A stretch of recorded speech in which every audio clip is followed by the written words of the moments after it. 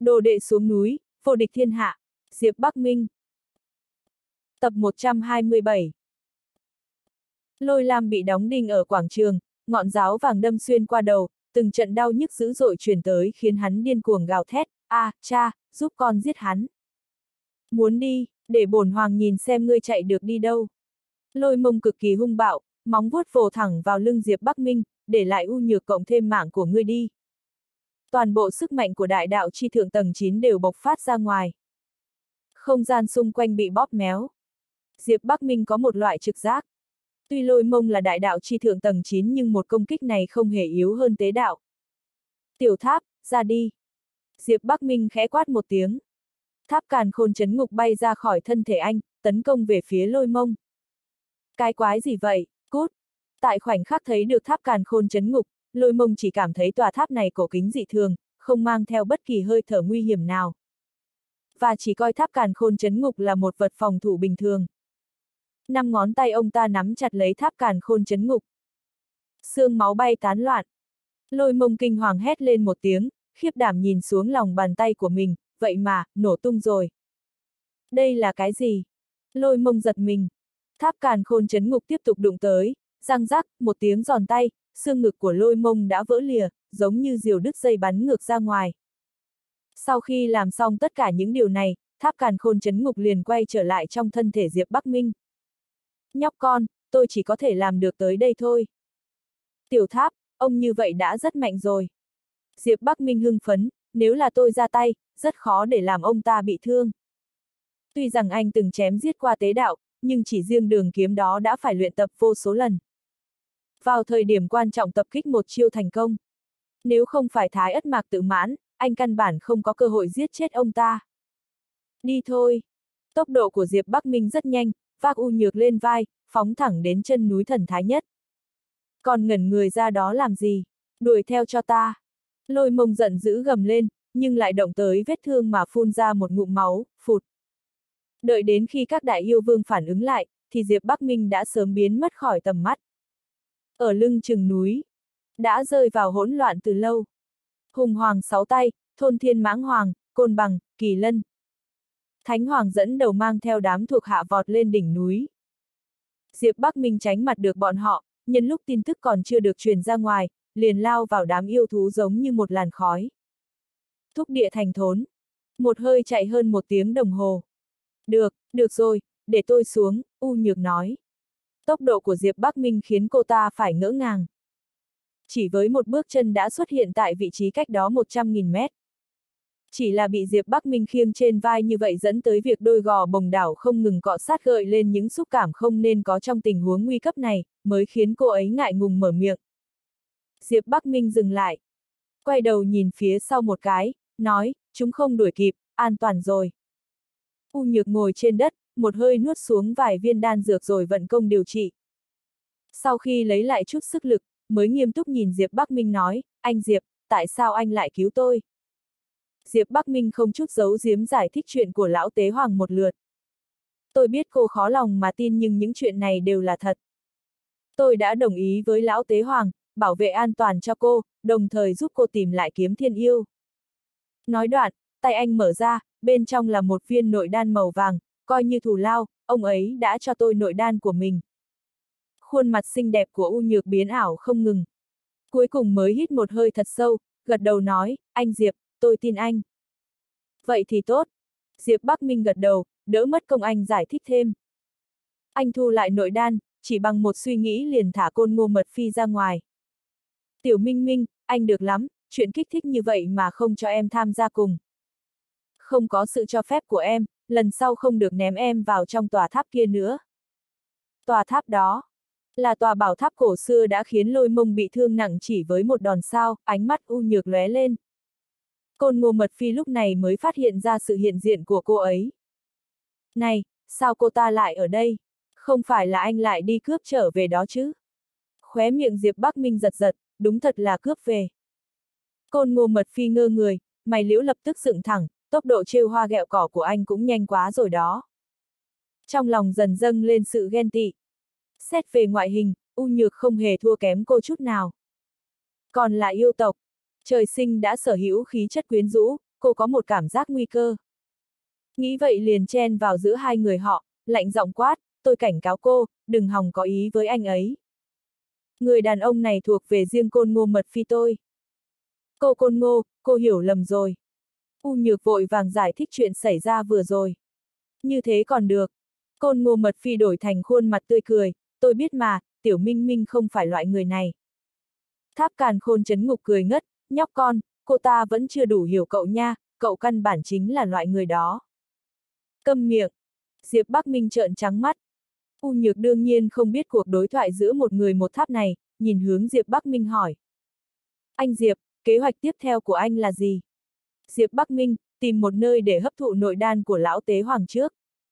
U Nhược trầm ngâm vài giây, anh đã lưu lại hơi thở trên núi Thánh rồi, cho nên dù đi tới đâu đám người lôi mông nhất định sẽ có cách tìm được anh. Đi thôi, tôi đưa anh tới một nơi. Cho dù bị bọn họ tìm được, chắc chắn không có ai dám ra tay ở đó. Trên đỉnh núi thần thái nhất. Bùm, bùm, bùm. Hùng hoàng sáu tay túm lấy một cái chân của lôi mông giống như một con chó chết, điên cuồng đập xuống đất, thứ ngu xuẩn, đây chính là kế sách tuyệt hảo của ngươi đấy à. Lão tế hoàng vậy mà truyền vị cho con khốn u nhược đó. Tai mắt của bổn hoàng báo lại, người tự xưng làm hoàng rồi. Còn muốn xoán ngôi vị tế hoàng, lôi mông, cái ghế tế hoàng đó thì có tác dụng gì? Bổn hoàng sớm đã nói với ngươi, chìa khóa, chìa khóa, chìa khóa. Thứ bổn hoàng muốn là chìa khóa mở ra phần mộ của yêu thiên đế. Bùm, bùm, bùm. Dưới uy thế của hùng hoàng sáu tay, lôi mông hoàn toàn không có khả năng chống cự. Ông ta lúc này thoi thóp còn hơi tàn. Xương cốt toàn thân đã vỡ vụn. Đại nhân hùng hoàng, xin lỗi, là tôi đầu óc mê muội, tôi không dám nữa mà, lôi mông tha thiết cầu xin. Không dám nữa, ngươi tưởng rằng mình còn có cơ hội đó sao? Con người hùng hoàng sáu tay đỏ quạo. Năm trong số sáu bàn tay nắm lấy tứ chi và đầu của lôi mông. Chỉ cần dùng sức, lôi mông ắt rơi vào thảm cảnh ngũ mã phanh thây.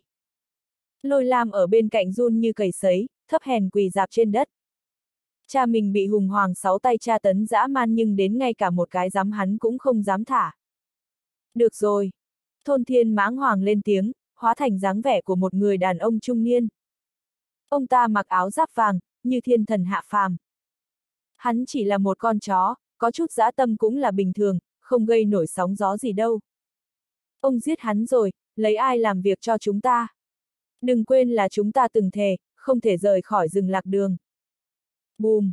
Hùng hoàng sáu tay nghe vậy mới ném lôi mông ra ngoài như một miếng rẻ rách, lực mạnh đến mức đụng vỡ cả một tảng đá có đường kính hàng trăm mét. Khói bụi mù mịt chôn vùi lôi mông. Chết chưa thế, chưa chết thì lăn ra đây. Vâng. Lôi mông nhếch nhác vừa bò vừa lăn tới, lao đến dưới chân hùng hoàng sáu tay rồi quỳ xuống. Kỳ lân thánh hoàng nói, chìa khóa nhất định nằm trong tay con khốn u nhược đó. Bằng không lão già khốn kiếp đó sẽ không truyền lại vị trí tế hoàng cho ả ta. Côn bằng lúc này cũng đã hóa thành một ông lão, lạnh băng nhìn ông ta nói, bắt u nhược về đây, nếu còn thất bại. Nói đoạn ông ta chỉ ngón tay ra ngoài. Một luồng ánh sáng thần thánh liền hòa vào giữa hai đầu lông mày của lôi mông. Lôi mông hét thảm một tiếng, hai mắt trào ra máu tươi. Gần một phần ba thần hồn của ông ta bị một đòn này cắt đứt, hóa thành một hình người nhỏ bé bay vào trong một chiếc đèn lồng màu đỏ như máu. Ngọn lửa bùng cháy. a à, xin hãy tha mạng. Thần hồn hình người kia kêu lên thảm thiết. Côn bằng bình tĩnh nói, nếu đèn này tắt mà ngươi còn chưa bắt được con ả đó, vậy cứ chịu chết đi. Cút. Vâng vâng. Lôi mông vừa lăn vừa bò, lao ra ngoài như một con chó điên. Lôi lam theo sau gọi với theo, cha. Thành hồng hoang. Diệp Bắc Minh đứng trước một tòa thành cổ, một cỗ khí tức tháng năm vĩnh hằng ập tới. Thiên địa huyền hoàng, vũ trụ hồng hoang. Dám dùng hai chữ này đặt tên, thật là uy nghiêm rầm rộ. Nhìn thoáng qua, bức tường của thành hồng hoang đã cao hàng nghìn mét. Một bức tường thành tổng cộng có 8 mặt, từ trên trời nhìn xuống, sẽ thấy nó mang hình dáng bát quái của thái cực quyền. Nhưng mà, không ai dám lăng không bay lên. Chỉ bởi vì, trong vòng 100 dặm của thành hồng hoang cấm bay. Cho dù là Diệp Bắc Minh, Côn Ngô Mật Phi, U Nhược ba người đều phải đi bộ đến chân thành hồng hoang. 12 cổng thành cao hơn 300 mét, vô số võ giả ra ra vào vào. Trong thành hồng hoang có một tòa đế cung, vốn dĩ trên thế giới này không tồn tại thành hồng hoang, chỉ có hồng hoang đế cung. Sau này, càng ngày càng có nhiều người muốn gia nhập hồng hoang đế cung hơn, nhưng lại bị từ chối. Những người này đều không muốn rời đi, liền xây dựng một tòa thành hồng hoang ở xung quanh hồng hoang đế cung, U Nhược nói. Diệp Bắc Minh hỏi, thế lực của hồng hoang đế cung này, nhất định rất lớn đúng không? U Nhược lắc đầu, hồng hoang đế cung không có bất kỳ thế lực nào, chỉ có khoảng 1.000 đệ tử thôi. Đệ tử nội môn khoảng 300 người, đệ tử ngoại môn tầm 700 người. Diệp Bắc Minh sửng sốt, không phải chứ. Một tông môn 1.000 người có thể kiểm soát toàn bộ thành hồng hoang. U Nhược cười thần bì nói, anh Diệp, nếu tôi nói với anh trong hồng hoang đế cung có hơn 10 vị võ giả cảnh giới tế đạo thì sao? Cái gì? Diệp Bắc Minh kinh ngạc. Tộc Côn Ngô với danh xưng là đời sau của vương tộc thời đế lạc. Từ khi Côn Ngô Mật Phi hiểu chuyện cũng chỉ có hai lão tổ cảnh giới tế đạo mà thôi. Thần viện Thái Thương cũng chỉ có ba đại trưởng lão cảnh giới tế đạo. Hồng Hoang đế cung một nghìn người, vậy mà có những hơn 10 người ở cảnh giới này. Đây chính là nghịch thiên mà. Và lại, chỉ cần có thể tiến vào hồng hoang đế cung, cho dù có là đệ tử ngoại môn, đời này nhất định sẽ có thể tiến vào cảnh giới đại đạo chi thượng. Đệ tử nội môn trong top 10, ngoại trừ những người đã chết. Không một ngoại lệ, tất cả đều đã tiến vào cảnh giới nhập đạo, khi U Nhược nói ra lời này, đến bản thân còn cảm thấy nổi da gà. Diệp Bắc Minh nuốt một ngụm nước bọt. Loại thực lực này, thật sự quá đáng sợ. Căn bản không cần bao nhiêu đệ tử, một nghìn người là đủ rồi. Mật Phi, sao em không thử gia nhập hồng hoang đế cung? Diệp Bắc Minh nhìn côn ngô Mật Phi hỏi. Côn ngô Mật Phi bĩu môi nói, tiểu Minh Minh, anh tưởng em không muốn sao. Chỉ cần là thanh niên có chút thiên phú, đều có thể tới hồng hoang đế cung thử một phen. Em cũng từng thử qua, nhưng đáng tiếc là thất bại. a à, Diệp Bắc Minh sửng sốt. Với thiên phú của côn ngô mật phi, vậy mà lại thất bại. Chuyện gì vậy, đến thiên phú của em mà hồng hoang đế cung cũng không để ý tới. Không đợi côn ngô mật phi trả lời, U Nhược đã lắc đầu nói trước, anh hiểu lầm cô côn ngô rồi, hồng hoang đế cung chọn đệ tử căn bản không nhìn vào tài năng. Cho dù là đời sau của đế huyết, anh nghĩ xem chẳng lẽ không đủ tài năng sao? Nhưng trên thực tế, 100 hậu duệ của đế huyết tới hồng hoang đế cung, chỉ có một người có thể gia nhập. Tôi cũng từng đến đây và thất bại. U Nhược thất vọng nói. Diệp Bắc Minh lập tức có hứng thú, đi, chúng ta qua đó xem xem. Bằng một niệm thức, anh đưa Tiêu Dung Phi, Tiêu Nhã Phi và Viên Tử Y ra ngoài. Thành Hồng Hoang có rất nhiều lệnh cấm, ngay cả cảnh giới tế đạo cũng không dám ra tay ở đây. Có thể nói, nơi này tuyệt đối an toàn. Diệp Bắc Minh tin, đám tế đạo kia muốn giết anh cũng không thể ra tay ở đây. Cho dù có ra tay, đế thủ và tiểu tháp vẫn có thể cảm nhận trước được. Ôi, thành phố này lớn quá, nhiều người vậy, có 10 tỷ người ấy nhỉ? Không thế nào. Tiêu Dung Phi và Tiêu Nhã Phi mở to mắt ngạc nhiên. Giống như một cô gái thôn quê lần đầu được lên thành phố, không ngừng kêu lên. Diệp Bắc Minh chăm sóc hai người rất tốt, liên tục giải thích cho họ hiểu. U Nhược âm thầm kinh ngạc, tên này kiếm đâu ra ba mỹ nhân xinh đẹp như vậy. Lẽ nào là khí chất thu hút ong bướm trời sinh sao? Thiếu chút nữa thì bị anh ta thu hút rồi, may mà đã tỉnh ngộ kịp thời. U Nhược thầm nghĩ. Trong lòng cô ta, Diệp Bắc Minh được gắn cái mác đa tình. Rất nhanh, cả nhóm đã tới trước một quảng trường rộng lớn. Dòng người ở đây dường như vô tận. Gần một triệu người tụ tập ở khu vực trung tâm quảng trường, vây khoanh một khối thiên thạch. Một vị lão giả dựa vào thiên thạch với một đĩa đậu phộng trên tay. Trên eo dắt một bình rượu, thỉnh thoảng lại mở mắt ra và nhấp một ngụm. Sau đó lại nhắm mắt và tiếp tục ngủ. Diệp Bắc Minh dùng thần niệm của mình thăm dò một lượt. Audio điện tử võ tấn bền. Phát hiện không có gì bất thường. Chỉ là một khối thiên thạch bình thường mà thôi. Ngược lại, lão giả đang ngủ này thì sâu không dò được. Mọi người xếp hàng, ai đi qua viên thiên thạch này thì đều chạm tay vào nó, thấy thiên thạch không có phản ứng gì thì chán nản rời đi. Có chuyện gì vậy, tại sao có nhiều người xếp hàng chỉ để chạm vào một tảng đá? Có gì hay ho chứ? Diệp Bắc Minh lắc đầu. Bên cạnh, một thanh niên liếc nhìn anh, một tảng đá bình thường. Não ngắn. Đây chính là cách thức thử nghiệm độc nhất của Hồng Hoang Đế Cung, chỉ cần được thiên thạch thừa nhận, bèn có thể gia nhập vào Hồng Hoang Đế Cung. Diệp Bắc Minh cau mày, đây không phải chỉ là một tảng đá bình thường thôi sao? Có thể kiểm tra ra cái gì? Côn ngô mật phi gật đầu với anh, đúng vậy, năm đó em cũng nghĩ vậy. Em qua đó chạm vào một chút, tảng đá đó không có phản ứng gì nên em không đủ tư cách. Diệp Bắc Minh, quay đầu, nhìn về hướng U Nhược. Đừng nhìn tôi, tôi cũng vậy, U Nhược có chút xấu hổ nói. Đi, chúng ta cũng thử một chút. Diệp Bắc Minh đột nhiên cảm thấy, chuyện này rất có tính thách thức. Với thiên phú của anh, ngộ nhỡ tảng đá này có phản ứng thì sao? Kéo Tiêu Dung Phi, Tiêu Nhã Phi và viên tử y ba người đến phía trước xếp hàng. Rất nhanh. Đã đến lượt Diệp Bắc Minh, bước lên một bước, năm ngón tay ấn xuống tảng thiên thạch màu đen. Không có bất kỳ phản ứng nào. Vãi! Khóe miệng Diệp Bắc Minh giật giật, vẫn không từ bỏ. Lại chạm vào vài lần nữa. Vẫn không có phản hồi. Lão giả đang ngủ say nhắc nhở một câu, người thanh niên này, đừng lãng phí thời gian nữa, thiên phú của cậu không đủ, không có duyên gia nhập hồng hoang đế cung. Diệp Bắc Minh chịu đả kích rất lớn.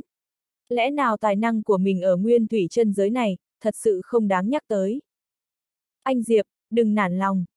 Tiêu Nhã Phi an ủi. Diệp Bắc Minh gật đầu, tảng đá này nhất định có vấn đề. Đúng vậy, nhất định là có vấn đề. Tiêu Nhã Phi cười gật đầu, không tin, em và chị chạm thử cho anh xem. Hai chị em bước lên trước, mỗi người một tay chạm vào tảng thiên thạch đen. Lạch cạch, tảng thiên thạch đen run rẩy, phát ra hai tia sáng, một xanh lam và một xanh lục. Mẹ kiếp, tảng đá nát này có phản ứng rồi.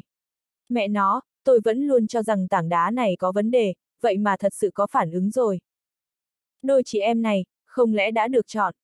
Cả quảng trường sôi sục. Diệp Bắc Minh ngơ ngác. Đôi mắt côn ngô mật phi cũng mở to. U nhược bối rối. Ừm. Lão giả đang ngủ trên đất đột nhiên mở mắt ra, đôi mắt lộ ra vẻ kinh ngạc nồng đậm.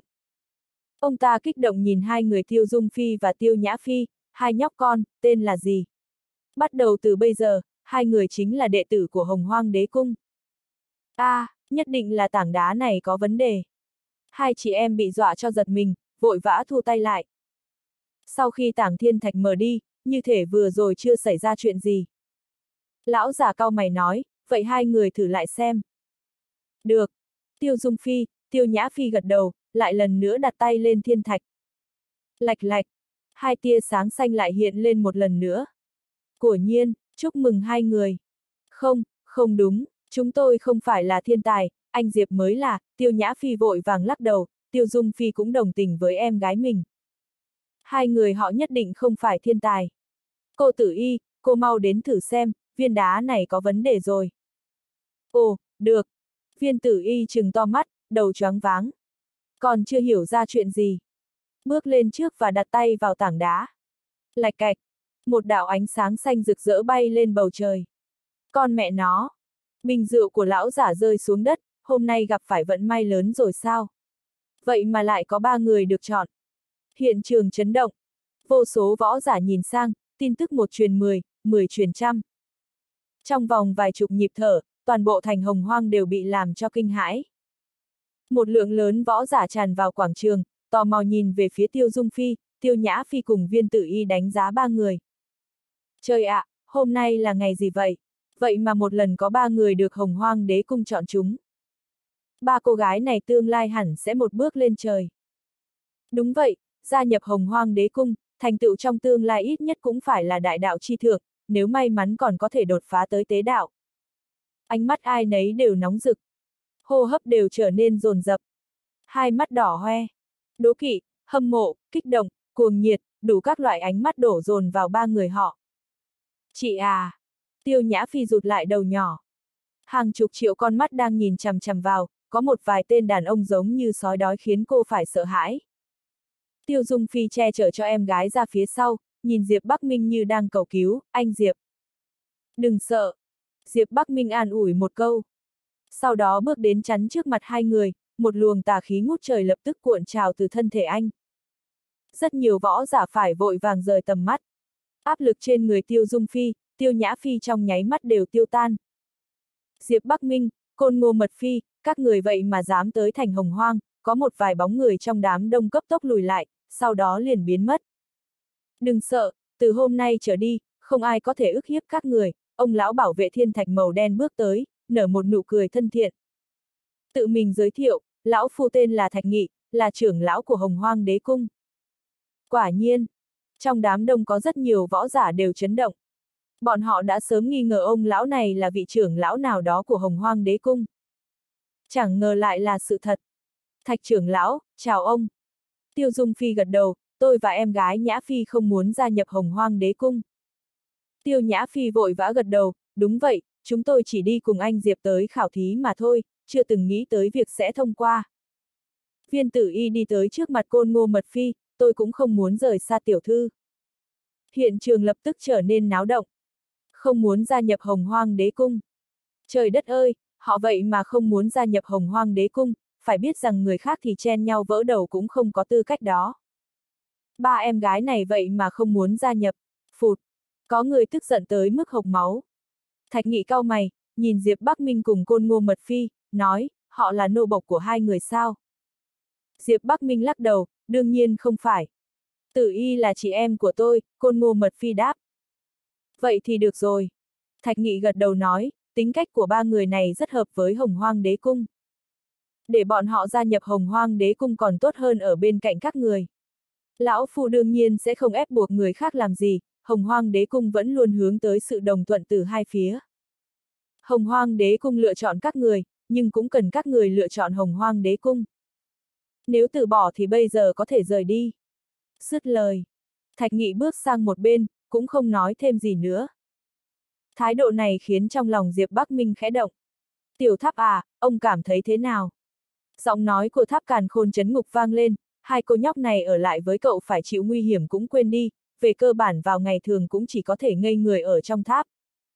Tôi cho rằng để bọn họ gia nhập hồng hoang đế cung là một sự lựa chọn không tồi. Ít nhất nhìn thái độ này của Thạch Nghị, còn tốt hơn nhiều so với đám người ở thần viện Thái Thương kia. Cũng không cần lo lắng họ nếu đến hồng hoang đế cung sẽ bị bắt nạt. Diệp Bắc Minh âm thầm gật đầu, tôi cũng nghĩ như vậy. Sau đó quay đầu nhìn Tiêu Dung Phi cùng Tiêu Nhã Phi, bày tỏ suy nghĩ thật lòng của mình. Hả, anh Diệp, anh muốn đuổi chúng em đi sao? Đôi mắt Tiêu Nhã Phi thoát cái đỏ lên, nước mắt tí tách rơi xuống. Rồi một phát nhào vào trong ngực Diệp Bắc Minh ôm chặt lấy cổ anh mà nghẹn ngào, hu hu hu, em không muốn đi. Em và chị không dễ dàng gì mới tìm được anh. Mới qua bao lâu đâu, Nhã Phi không muốn rời xa anh Diệp, cả đời này đều không muốn. Tiêu Dung Phi cũng cắn chặt môi hồng. Là một người chị, cảm xúc của cô tương đối bị kìm chế. Nhưng, vẻ mặt bướng bỉnh đã nói lên tất cả. Diệp Bắc Minh vỗ vỗ cái đầu nhỏ của cô, an ủi nói, em cũng nhìn thấy tình cảnh bây giờ của tôi rồi đó, hãy tới hồng hoang đế cung để nâng cao thực lực, sau này trở thành cánh tay phải của tôi không phải càng tốt hơn sao. Ngộ lỡ sau này các em tiến vào cảnh giới tế đạo, còn có thể bảo vệ cho tôi nữa. Tôi cũng không cần phải ngày ngày bị một đám tế đạo truy lùng khắp nơi. Tiêu Nhã Phi cười khúc khích, em nào có năng lực đó. Ngoan! Diệp Bắc Minh tiếp tục xoa dịu, tới hồng hoang đế cung đi. Tuy rằng Tiêu Nhã Phi không nỡ, nhưng vẫn nghe lời anh, ngoan ngoãn gật đầu, được, em tới hồng hoang đế cung, nhưng anh không thể vứt bỏ em đó. Sao tôi có thể không cần em nữa? Diệp Bắc Minh nhéo chiếc mũi tinh xảo của cô nói. Tiêu Dung Phi có chút hâm mộ, cô cũng muốn tương tác tự nhiên với Diệp Bắc Minh như vậy. Dường như nhìn ra được tâm tư của cô, Diệp Bắc Minh đi tới bên cạnh Tiêu Dung Phi, ôm lấy chiếc eo thon gọn của cô. Rồi quắc mắt nhìn xung quanh, nghiêm mặt hét lên, các người nhìn cho rõ, đây là người phụ nữ của Diệp Bắc Minh tôi. Cho dù là đệ tử của Hồng Hoang Đế Cung, ai dám ước hiếp họ, Diệp Bắc Minh tôi đều giết không tha. Tất cả mọi người đều ngơ ngác. Thằng nhãi này thật lớn mật. Vậy mà dám hùng hồn phát ngôn như vậy ngay trước mặt đám đông. Thạch nghị âm thầm liếc Diệp Bắc Minh một cái, phải là một người có dũng khí rất lớn mới có thể nói ra lời này trước mặt mọi người. Ở một bên khác, Côn Ngô Mật Phi cũng đang làm công tác tư tưởng cho viên tử y, thuyết phục cô ấy gia nhập Hồng Hoang Đế Cung. Được rồi, nếu đã đồng ý thì đi theo tôi thôi, Thạch Nghị bước đến nói. Diệp Bắc Minh lấy ra hai viên đá truyền âm rồi nhỏ một giọt tinh huyết hòa vào trong đó, nếu nhớ tôi thì bất cứ lúc nào cũng có thể liên lạc. Hai người tiêu dung phi cùng tiêu nhã phi vẫy tay, vẫn lưu luyến không rời tiến vào hồng hoang đế cung. Chúng ta cũng đi thôi, ở lại thành hồng hoang này trước. U Nhược đề nghị. Ba người rời quảng trường và đến một quán trọ, chuẩn bị ở lại đây. Ba gian phòng. U Nhược vừa mở miệng liền bị côn ngô mật phi ngắt lời, không cần, hai phòng là đủ rồi. U Nhược khựng lại, hả? Côn ngô mật phi nhoẻn miệng cười ngọt ngào, tôi mà tiểu minh minh đương nhiên sẽ ở cùng nhau. Tuyệt đối không được. Một tiếng gầm trầm thấp vang lên. Côn ngô mật phi, cô đã là vợ của tôi, chúng ta cũng đã tổ chức hôn lễ, cô muốn ở cùng Diệp Bắc Minh. Tuyệt đối không thể. Mắt của bất hủ vấn thiên đỏ ngầu. Một người đàn ông có mái tóc dài màu trắng như tuyết bước vào. Theo sau là đám người của tộc bất hủ, bao vây ba người họ lại. Côn ngô mật phi cười lạnh, bất hủ vấn thiên, tôi đã nói với anh từ lâu rồi, tôi không thích anh. Lúc này, ngoài quán trọ lại có thêm mấy chục bóng người bước vào, bốn người bất hủ thương, Lam Nguyệt Nhã, Côn Ngô Thái Sơn, Tô Hiểu Vân đều có mặt trong đó. Đã nhìn thấy chưa, đây chính là con gái mà tộc Côn Ngô các người dốc lòng bồi dưỡng ra đó. Khóe miệng bất hủ thương nhếch lên một tia cười lạnh, còn chưa kết hôn mà đã ở cùng phòng rồi. Đúng là thứ đề tiện không biết xấu hổ. Tiếng rồng ngâm vang lên. Kiếm càn khôn chấn ngục lập tức xuất hiện trong lòng bàn tay Diệp Bắc Minh, anh quát lên một tiếng, con mẹ ông, muốn chết có đúng không? Nhãi con, mày ra tay đi. Bất hủ thương cười đầy trêu tức. Trong lòng Diệp Bắc Minh đã cuộn trào sát ý. Tiếng rồng gầm càng vang dội hơn. Côn ngô mật phi vội nắm lấy tay anh ngăn cản, tiểu minh minh, đừng. Lão ta chỉ đang cố ý chọc tức anh thôi, đây là thành hồng hoang đó. Dám tự ý dùng vũ lực, giết không cần hỏi. Cũng chỉ là vài câu mắng nhức thôi, không sao. Côn ngô mật phi đè chặt lấy tay Diệp Bắc Minh, trong mắt còn mang theo tia van nài. Bất hủ thương, mạng của ông tôi muốn chắc rồi. Diệp Bắc Minh không muốn côn ngô mật phi lo lắng liền thu lại kiếm càn khôn chấn ngục. Bất hủ thương có chút thất vọng, thằng khốn kiếp, mày chỉ có chút gan dạ đó thôi sao? Không dám ra tay ở đây à? Đối mặt với sự khích bác của bất hủ thương, Diệp Bắc Minh đã bình tĩnh lại, bày ra biểu cảm cười như không cười, nói. Việc tôi có dũng khí hay không thì toàn bộ người của nguyên thủy chân giới đều biết. Rốt cuộc tôi vẫn là người đã cướp đi côn ngô mật phi trên chính hôn lễ của tộc bất hủ các người. Ngược lại là tộc bất hủ các ông, được mệnh danh là hậu duệ đế huyết, khi người phụ nữ của mình bị cướp đi chỉ có thể đứng ở chỗ này gào thét bất lực. Mày! Trong mắt bất hủ thương tràn ngập lửa giận. Diệp Bắc Minh bổ sung một câu, thế nào? Hậu duệ đế huyết cũng sợ hãi trước quy tắc của thành hồng hoang sao. Không dám ra tay giết tôi à? Đến đây khiêu khích tôi. Các người cũng sợ chết à? Hậu duệ đế huyết cũng chỉ là những kẻ hèn nhát mà thôi. Từng câu châm chọc của Diệp Bắc Minh như đâm xuyên qua tim đám người tộc bất hủ. Mày, phụt. Bất hủ thương không kìm nổi cơn sôi máu mà phun ra một ngụm máu tươi. Mọi người ở tầng 1 của quán trọ đều choáng váng. Thằng nhóc này điên rồi sao? Vậy mà dám thách thức người tộc bất hủ như vậy. Diệp Bắc Minh, thằng khốn kiếp này mày muốn chết. Gân xanh trên trán bất hủ vấn thiên giật giật, nổi cơn tam bành. Diệp Bắc Minh lắc đầu, dáng vẻ gào thét vô dụng này của mày thực sự rất đáng yêu đó. Thứ rác rưởi núp dưới háng cha mình như mày, Diệp Bắc Minh tao chỉ cần một tay cũng giết được cả trăm tên. Bất hủ vấn thiên đã hoàn toàn rơi vào điên dại. Mẹ kiếp, mẹ kiếp, mẹ kiếp. Diệp Bắc Minh, tao phải giết chết mày. Bất hủ vấn thiên đang chuẩn bị hành động. Bất hủ hàn, còn ngây ra đó làm gì? Mau ngăn cản thiên nhi lại. Bất hủ thương quát lên.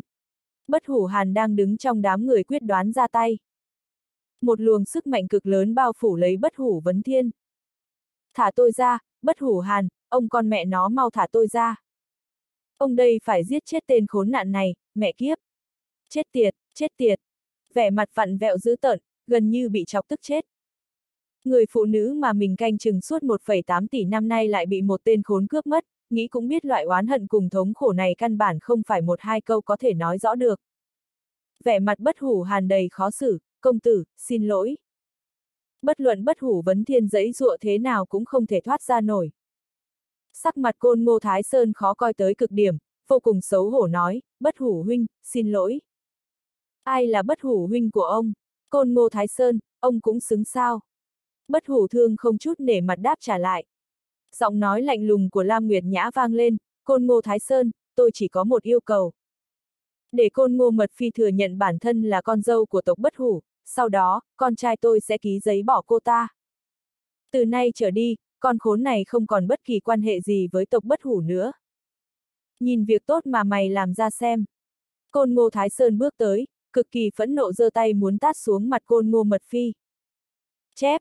Diệp Bắc Minh thoát cái đứng chắn trước mặt côn ngô mật phi, năm ngón tay anh siết chặt cổ tay côn ngô Thái Sơn. Côn ngô Thái Sơn giật mình. Sức lực của thằng nhãi này vậy mà khiến ông ta không có cách nào cử động nửa phân. Phải biết rằng ông ta là đại đạo chi thượng tầng hai đó. Diệp Bắc Minh, mày muốn làm gì? Muốn ra tay với tao sao? Côn Ngô Thái Sơn sầm mặt. Côn Ngô Mật Phi là người phụ nữ của tôi, loại người vì cường quyền mà ép buộc con gái mình kết hôn với người cô ấy không thích không xứng đáng làm cha cô ấy. Ánh mắt Diệp Bắc Minh lạnh như băng. Côn Ngô Thái Sơn nheo mắt lại, Côn Ngô Mật Phi, mày cũng cho rằng như vậy sao? Côn Ngô Mật Phi cười lạnh, Côn Ngô Thái Sơn, năm đó ông từng nhìn tôi và mẹ với ánh mắt như thế nào vẫn nhớ chứ? Nếu không phải tôi thức tỉnh thiên phú võ đạo thì e rằng tôi và mẹ ở tộc Côn Ngô ngay cả người hầu cũng không bằng. Ông quả thực không xứng đáng làm cha của tôi. Mày! Côn Ngô Thái Sơn phẫn nộ tới cực điểm. Quay phát đầu lại hung tợn chừng mắt nhìn Tô Hiểu Vân, con khốn mau nhìn con gái mà bà nuôi ra xem. Vậy mà dám ngỗ nghịch với tôi, bà còn lời gì để nói không? Tô Hiểu Vân run rẩy bước lên phía trước, nước mắt chảy dài trên khuôn mặt đầy yêu sầu. Bà ta khổ sở cầu xin, mật phi à, mẹ cầu xin con, xin con nhận lỗi đi mà. Biểu cảm côn ngô mật phi phức tạp, tức giận hét lên, mẹ, người đàn ông này vẫn luôn coi mẹ như một công cụ. Ngay cả con cũng là công cụ của ông ta, tại sao mẹ còn phải tủi nhục cầu toàn như vậy? Tô Hiểu Vân vẻ mặt mơ hồ, không có đàn ông, sao mẹ có thể sống được? Tại sao không thể, tại sao mẹ lại không thể sống cơ chứ? Côn ngô mật phi gắt gỏng, mẹ không phải có con sao? Con không thể bảo vệ mẹ sao? Lúc con còn nhỏ côn ngô Thái Sơn có từng liếc qua mẹ lấy một cái không? Có biết bao nhiêu người hầu của tộc côn ngô từng ức hiếp chúng ta? Khi con lớn lên, thiên phú võ đạo tăng vọt lên đứng đầu tộc côn ngô, lúc đó ai còn dám bắt nạt chúng ta? Mẹ ơi, sao mẹ lại nhu nhược đến thế? Cả người Tô Hiểu Vân run rẩy, nước mắt chảy dài trên mặt, không ngừng lắc đầu, không được, không có cha con, chúng ta sống không nổi. Mật Phi, mẹ van xin con, nhận sai đi mà. Ha ha ha ha. Thấy Tô Hiểu Vân hèn yếu như vậy, Côn Ngô Thái Sơn cười đầy đắc ý, Côn Ngô Mật Phi, mày đã nhìn thấy chưa? Trên người mày chảy dòng máu của tao. Xương cốt của mày là tao cho, máu thịt của mày cũng là tao cho. Mày không thể thay đổi điều này. Tô Hiểu Vân hùa theo gật đầu, đúng vậy, Mật Phi à, ông ấy vĩnh viễn là cha của con. Ha ha ha ha. Nhìn thấy thái độ này của Tô Hiểu Vân, côn ngô Mật Phi đã hoàn toàn tuyệt vọng. Cô ngửa mặt lên trời hét lớn, được, nếu đã như vậy, tôi liền trả lại máu thịt cho ông. Lời này vừa vang, côn ngô Mật Phi liền vươn tay chụp vào không khí, một thanh trường kiếm lạnh băng rơi xuống tay cô. Dứt khoát chém về phía đùi của mình. Máu tươi đầm đìa, một chiếc đùi liền bay ra ngoài. Mật Phi. Động tác của côn ngô Mật Phi quá nhanh, Diệp Bắc Minh chỉ kịp giống lên một tiếng điên cuồng, không màng tất cả mà vọt tới. Mọi người đều chết lặng trước cảnh tượng này. Không ngờ côn ngô Mật Phi lại kiên cường khí khái đến vậy. Lam Nguyệt Nhã nói móc mỉa, ôi chao, diễn cho ai xem vậy. Diệp Bắc Minh gầm lên đầy giận dữ, bà con mẹ nó nói thêm một câu nữa xem. Ông đây bây giờ liền giết chết bà. Phía sau Diệp Bắc Minh, chín con ma long màu đen lao ra ngoài. Bầu trời phía trên toàn bộ nhà trọ ngay lập tức bị mây mù bao phủ.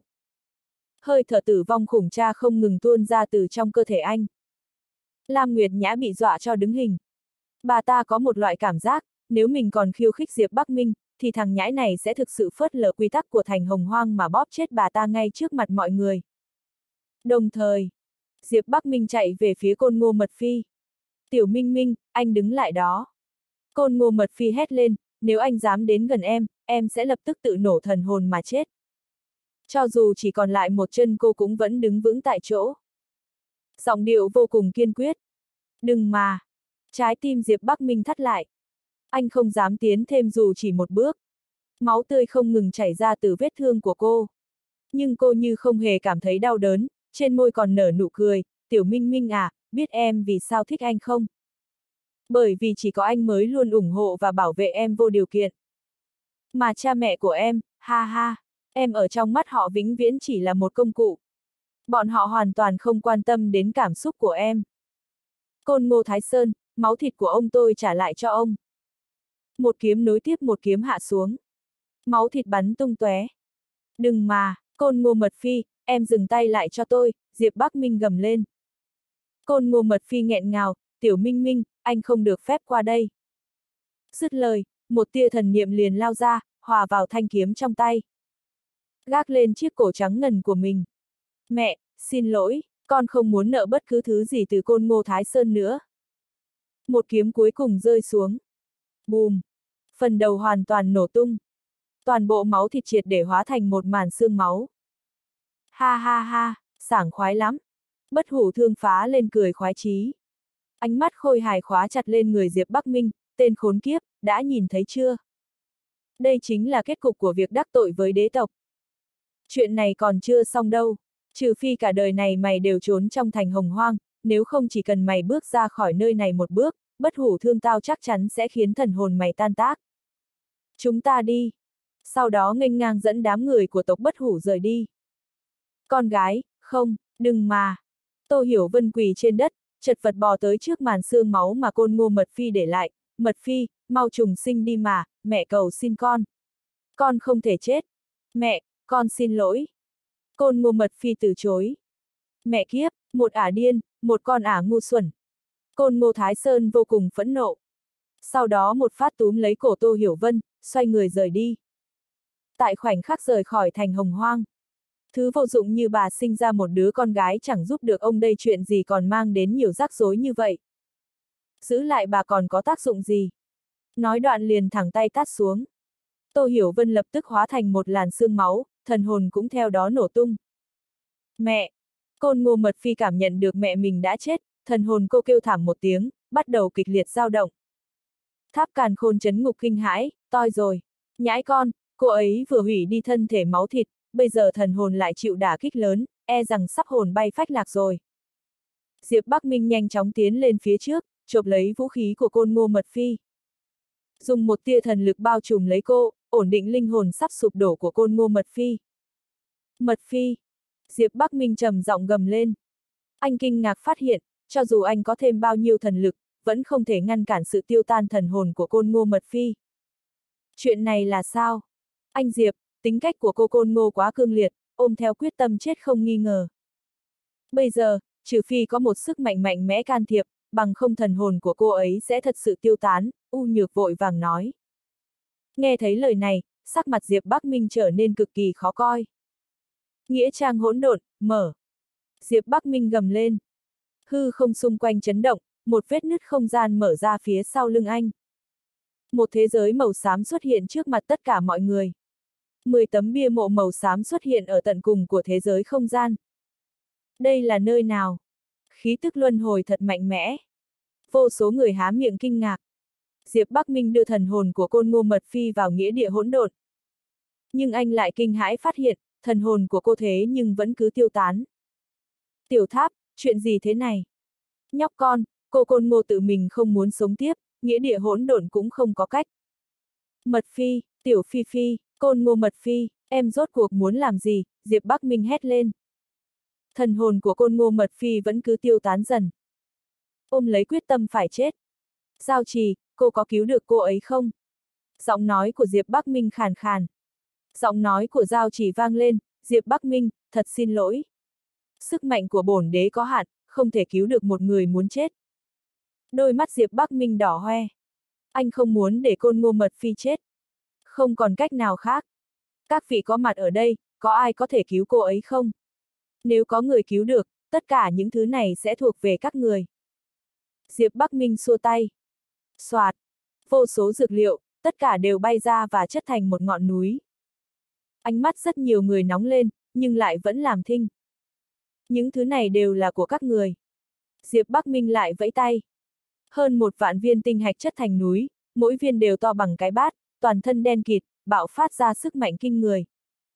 Con mẹ nó, tinh hạch của yêu vương cảnh giới đại đạo chi thượng. Trời ơi, có hơn một vạn viên, thằng nhóc này lấy đâu ra vậy? Ưng ực. Ừ.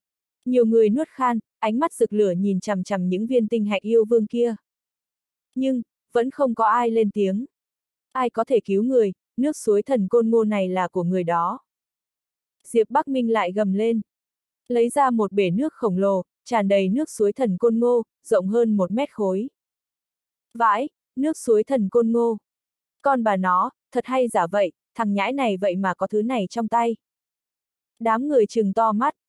Trong đám đông, một người đàn ông trung niên kinh hãi nói, nghe nói có người lén lút tiến vào núi Côn Ngô, trộm đi nước suối thần đã tích lũy hàng tỷ năm của tộc Côn Ngô, chẳng lẽ lại là thằng nhóc này? Hít! Ngay khi nước suối thần xuất hiện, toàn bộ quán trọ đã bị bao vây đến một giọt nước cũng không lọt. Thậm chí, ngay cả tường đều bị người ta phá bỏ. Đứng từ nơi xa nhìn tới, ánh mắt không chỉ rực lửa mà càng là tham lam. Tôi có thể cứu cô ấy. Đột nhiên, một giọng nói nhàn nhạt vang lên. Đám đông chủ động nhường đường, một cô gái mặc bộ đồ giản dị chậm rãi bước tới. Cô ta không trang điểm mà để mặt mộc tự nhiên. Trên người cô ta toát ra một loại khí chất siêu việt, khi tất cả đàn ông nhìn thấy, không dám có một tia tạp niệm, ngược lại đều cúi đầu không dám nhìn thẳng. Trên cơ thể cô gái này vậy mà toát ra khí thức của cảnh giới đại đạo chi thượng tầng 7. Được. Diệp Bắc Minh vẫy tay. Dược liệu, tinh hạch, nước suối thần côn ngô đều bay về phía cô gái mặc đồ giản dị kia. Nhưng cô ta cũng không thèm nhìn lấy một cái, trong đôi mắt là vẻ thuần khiết. Không có một tia tham lam. Dường như những thứ này không đáng được nhắc đến. Anh đừng vội vàng quá. Cô gái nhẹ nhàng lắc đầu nói, tôi có một điều kiện, chỉ cần anh đồng ý, tôi sẽ cứu cô ta. Đôi mắt Diệp Bắc Minh đỏ lên, 100 điều kiện, tôi cũng đồng ý. Cô gái kia lắc đầu, anh Diệp, anh đừng đồng ý sớm quá. Nghe xong điều kiện của tôi rồi hãy quyết định cũng chưa muộn. Diệp Bắc Minh trịnh trọng gật đầu, cô nói đi. Cô gái bình tĩnh mỉm cười, để tôi tự giới thiệu trước, tôi tên là Tố Vấn, đến từ Hồng Hoang Đế Cung.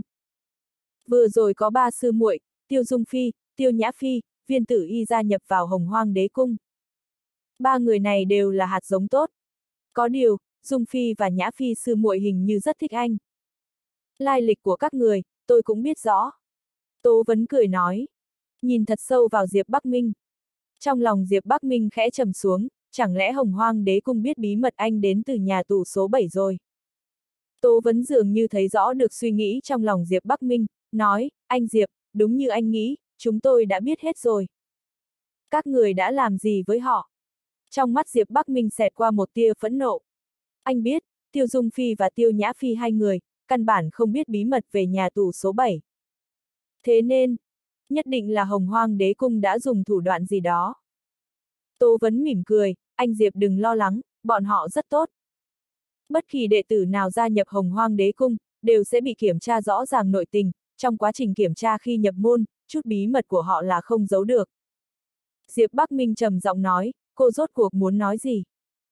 Trên mặt Tố Vấn vẫn cười nói, anh Diệp, tôi muốn nói là, sư muội Dung Phi, Nhã Phi từ nay sẽ là đệ tử của Hồng Hoang Đế Cung. Triển vọng trong tương lai là vô hạn. Sự tồn tại của anh, chỉ ảnh hưởng đến tương lai của họ mà thôi. Thế nên, sau này xin anh đừng bao giờ bước vào thành Hồng Hoang nửa bước, cũng đừng bao giờ xuất hiện trước mặt bọn họ nữa. Chỉ cần anh đồng ý, tôi sẽ lập tức ra tay cứu người. Nói xong, trên mặt Tố Vấn mang theo nụ cười nhàn nhạt, đứng tại chỗ không rời đi. Trong mắt cô ta, Diệp Bắc Minh không còn sự lựa chọn nào khác ngoài việc đồng ý. Không ngờ, Diệp Bắc Minh lại gầm lên một tiếng, cút con mẹ nhà cô đi, cô nằm mơ. Anh, vậy mà lại thô lỗ như vậy. Khuôn mặt xinh đẹp của Tố Vấn tái nhợt, tức giận chỉ vào Diệp Bắc Minh. Diệp Bắc Minh cười lớn, ha ha ha, ông đây còn có thể thô lỗ hơn nữa, cô có muốn nhìn không? Anh thật vô liêm sỉ. Tố Vấn chừng to mắt. Diệp Bắc Minh không khách sáo hét lên, cút. Hắn ta vậy mà dám bảo cô Tố Vấn cút. Con mẹ nó, thằng nhóc này điên rồi. Lẽ nào hắn ta không biết thân phận của cô Tố Vấn ở Hồng Hoang Đế Cung sao? Trong quán trọ, yên tĩnh đến đáng sợ. Tố Vấn cười lạnh lùng, xoay người lùi lại nói, anh Diệp, nếu đã như vậy, thì không ai có thể cứu được thần hồn của cô Côn Ngô đâu. Không ai cứu được, tôi cứ phải cứu đấy. Diệp Bắc Minh nghiến răng. Dậm chân một cái. Đạo đài luân hồi, ra đây. Hai. Khung cảnh xung quanh đột nhiên thay đổi, một bục cao vạn mét xuất hiện ở đại sảnh của quán trọ. May mà quán trọ đủ lớn. Bên trong có trận pháp không gian. Nếu không, mọi người đều bị kéo vào đạo đài luân hồi của Diệp Bắc Minh. Giây tiếp theo, Diệp Bắc Minh nắm lấy bảo kiếm của côn ngô Mật Phi, Mật Phi, anh không cho phép, em không thể chết. Quay ngược thời gian, nghịch chuyển luân hồi. Nói xong, đạo đài luân hồi rung lên, thần hồn đang tiêu tan của côn ngô Mật Phi vậy mà lại khôi phục lại vài phần. Đây là... Tên nhóc này quả nhiên tu luyện phép tắc luân hồi cấm kỵ. Quán trọ náo động, mọi người đều kinh hãi. Tất cả đều rút lui. Tô Vấn trợn tròn hai mắt, nghiến răng nói, Diệp Bắc Minh, anh to gan lắm, lại dám sử dụng lĩnh vực luân hồi. Vùng luân hồi. Mọi người trong quán trọ kinh ngạc lùi về sau. Họ hãi hùng nhìn Diệp Bắc Minh như thấy quái vật. Mọi thứ liên quan đến luân hồi, thời gian. Ở chân giới ban sơ, đây là lĩnh vực mà bất kỳ ai, bất kỳ thế lực nào cũng không được đụng vào. Diệp Bắc Minh đứng trên đài luân hồi, tôi đụng vào đấy, thì sao? Lẽ nào anh không biết, quy luật luân hồi là cấm kỵ ở chân giới ban sơ sao? Tô vấn nhíu mày. Diệp Bắc Minh chửi ầm lên, cấm kỵ cái mẹ nhà cô ấy, Diệp Bắc Minh tôi muốn học phép tắc gì, còn cần đến lượt người khác đồng ý sao? Lúc này, thần hồn của côn ngô mật phi lại tan đi ba phần nữa. Thời gian ngược dòng, nghịch chuyển luân hồi. Diệp Bắc Minh tiếp tục hét to. Sau khi lặp đi lặp lại 10 lần, bất kể có ra sao, thần hồn của côn ngôn mật phi cũng không thể tiêu tan tiếp được nữa. Cuối cùng, trường kiếm kêu keng một tiếng. Một đạo hư ảnh, xuất hiện trên đài luân hồi. Chính là thần hồn của côn ngô mật phi. Cô ấy mặt đẫm lệ, vẻ mặt phức tạp, tiểu minh minh, vì sao? Tại sao lại ngăn chị? Chị không nên sống trên đời này nữa, tại sao em không để chị chết đi? Diệp Bắc Minh đỏ mắt, tộc côn ngô không cần chị, em cần chị. Bố mẹ chị không yêu chị, em yêu chị. Sau này ai dám động vào một cọng tóc của chị, Diệp Bắc Minh em có lên trời, hay xuống cửu u cũng giết không tha. Tiểu Minh Minh. Côn ngô mật phi rơi lệ đầy mặt, cật lực gật đầu, được, nghe em hết. Diệp Bắc Minh tiến lên một bước, chị còn muốn chết nữa không? Không chết nữa. Được, vậy em sẽ đắp nặn lại thân thể cho chị. Diệp Bắc Minh gật đầu. Côn ngô mật phi hơi do dự, chẳng lẽ Diệp Bắc Minh cất một giọt máu của cô ấy là để khôi phục thân thể cho cô ấy sao? Có vẻ anh đã nhận ra vẻ khó xử của côn ngô mật phi. Diệp Bắc Minh cười, chị yên tâm, cứ tin tưởng em. Được. Côn ngô mật phi hít sâu một hơi. Dưới ánh mắt tò mò của mọi người. Diệp Bắc Minh giơ năm ngón tay lên trời, một viên đá màu đen xuất hiện trong lòng bàn tay anh. Khí hỗn độn dập dềnh. Đá mẹ hỗn độn. Mọi người trợn tròn mắt. Nhìn chằm chằm hòn đá mẹ hỗn độn trong tay Diệp Bắc Minh, ai nấy hít vào một ngụm khí lạnh, da đầu run lên, hô hấp dồn dập. Mở to mắt nhìn. Không ngờ tên này lại lấy được đá mẹ hỗn độn. Thời hoàng đế sụp đổ, bảy hòn đá mẹ hỗn độn đã bị các vị đại đế hợp sức xây nên bảy nhà tù, kể từ đó vật này không còn xuất hiện trên đời nữa. Bảy viên đá mẹ hỗn độn đó được phép thuật đại đế bảo vệ, người bình thường không thể lấy được. Cái tên này lấy đâu ra đá mẹ hỗn độn thế?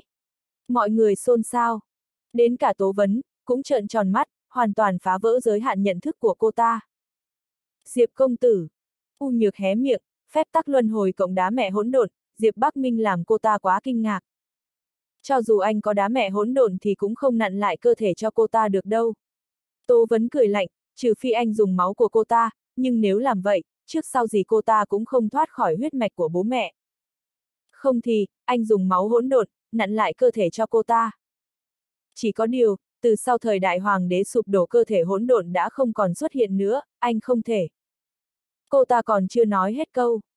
Diệp Bắc Minh đã lấy ra một cái bình sứ nhỏ. Giải phong ấn ở phía trên đi. Một cỗ khí tức hỗn độn, trào ra từ trong đó. Anh giơ tay nhỏ một giọt máu ra. Máu hỗn độn, sao có thể chứ, anh lấy ở đâu vậy? Tô Vấn không còn giữ bình tĩnh được nữa, cô ta kinh ngạc không thôi. Đù mé, máu hỗn độn kìa. Trong cái bình đấy toàn là máu hỗn độn hả? Hình như không chỉ có một giọt đâu. Trời ơi, một giọt máu hỗn độn, có thể tạo ra một cơ thể hỗn độn đấy. Rất nhiều người kinh ngạc. Trong đám đông, đôi mắt già nua của các lão giả ở các thế lực lóe lên như sói. Họ nhìn chằm chằm máu hỗn độn trong tay Diệp Bắc Minh, nếu không phải chỗ này là thành hồng hoang, chắc chắn bọn họ đã lao ra cướp rồi. Máu hỗn độn, có giá trị quá lớn. Cho dù là đế tộc, cũng phải tranh nhau sứt đầu mẻ chán. Sau khi Diệp Bắc Minh đắp nặn cơ thể cho mấy vị sư tỷ. Để phòng ngừa ngộ nhỡ, anh đã lấy đi máu trên người họ. Tiểu Minh Minh. Côn ngô mật phi hé môi. Diệp Bắc Minh nghiêm nghị nói, trước khi cơ thể chị bị phá hủy, chị là thiên tài. Anh vừa dứt lời. Một giọt máu hỗn độn dung hợp với đá mẹ hỗn độn. Vù. Khí hỗn độn dâng lên. Mật phi, mau đập nặn cơ thể. Diệp Bắc Minh nhắc nhở. Được. Côn ngô mật phi không do dự nữa, thần hồn nhảy vào máu hỗn độn. Dưới sự quay cuồng của khí tức hỗn độn, Diệp Bắc Minh phong tỏa vùng luân hồi, bên ngoài không thấy được tình cảnh trên đài luân hồi. Ơ, không nhìn thấy gì cả. Diệp công tử, cho chúng tôi xem với. Một cơ thể hỗn độn sắp ra đời, tương lai khả năng vô hạn. Cơ thể hỗn độn trời sinh có thể thăng lên một đại cảnh giới để giết địch, đây mới là điều đáng sợ nhất. Người ở cảnh giới đại đạo tầng 1 có thể giết chết cảnh giới tế đạo tầng 1. Một khi côn ngô cô nương tiến vào tầng thứ 9 cảnh giới đại đạo, há chẳng phải là sẽ không có đối thủ ở cảnh giới tế đạo à? Một tu võ giả dùng mình. Những gì anh vừa nói vẫn chưa phải điều đáng sợ nhất. Có người lắc đầu. Điều đáng sợ nhất là, tu võ có cơ thể hỗn độn, hầu như không gặp chướng ngại gì. Cũng có nghĩa là, côn ngô cô nương chắc chắn có thể tiến vào cảnh giới tế đạo, tầng 1, tầng 2. Cho đến tầng 9, thậm chí có thể đột phá cảnh giới tế đạo. Tương lai sẽ trở thành một nữ đại đế cũng không chừng. Đù mé, Diệp Bắc Minh đang bồi dưỡng một nữ đại đế. Hít, các tu võ giả xung quanh bàn luận văng cả nước miếng, và không ngừng hít khí lạnh. Cả đám kích động run cả người. Hai mắt đầy hăng say, hơn nữa còn có ghen tị, kích động, rung động. Mau trở về bẩm báo cho gia tộc, một cơ thể hỗn độn đã ra đời. Trong tay Diệp Bắc Minh có còn viên đá mẹ hỗn độn nào khác không nhỉ? Cả máu hỗn độn nữa. Trên người côn ngô mật phi đang chảy dòng máu hỗn độn đấy còn gì? Trong tay cậu ta có còn đá mẹ hỗn độn không mới là điều quan trọng nhất. Trong chỗ kín đáo, mấy lão giả nói nhỏ. Ánh mắt nhìn về phía Diệp Bắc Minh chăm chú vô cùng. Tô vấn ngây người đứng yên tại chỗ, đầu óc trống rỗng. Một lúc sau, cô ta chợt phản ứng lại, rồi chạy nhanh đến đế cung hồng hoang. Một cơ thể hỗn độn xuất thế, toàn bộ chân giới nguyên sơ sắp điên cuồng rồi. Trên đài luân hồi, một cơ thể hoàn mỹ đi ra từ trong khí hỗn độn. May mà Diệp Bắc Minh đã phong tỏa vùng luân hồi, khí hỗn độn cũng bao phủ toàn bộ đài luân hồi. Không thì hình ảnh này sẽ làm người ta chảy máu mũi mất, không cho người bên ngoài nhìn thấy, nhưng để cho trăm vị sư phụ nhìn thấy rồi. Tiểu Minh Minh, chị có đẹp không? Côn ngô mật phi cười tươi, ánh mắt tràn ngập tình yêu. Diệp Bắc Minh nhắc nhở một câu, mau mặc quần áo vào. Anh giơ tay lên, ném một bộ quần áo của mình qua. Chị không mặc. Côn ngô mật phi cười tà, cô ấy tiến lên nắm cầm Diệp Bắc Minh, chị tái tạo lại cơ thể, mọi thứ đều được tái tạo lại ý. Có muốn thử một chút không? Bên ngoài còn có rất nhiều người kia kìa, hơn nữa trăm vị sư phụ của em. Diệp Bắc Minh còn chưa nói xong. Côn ngô mật phi đã nhào luôn vào người anh rồi nở nụ cười xấu xa, trăm vị sư phụ gì cơ. Tiểu Minh Minh, em nói gì chị không hiểu. Chị mặc kệ, em là người của chị. Xung quanh đài luân hồi, hơn trăm bia mộ sáng lập lòe. Đù, tên nhóc này chẳng biết chọn địa điểm gì cả. Mọi người phong bế năm giác quan lại, đừng nghe nữa. Vù, vù, vù. Hơn 100 bia mộ đều rung rung một chút. Sau đó tất cả yên lặng. Tộc bất hủ.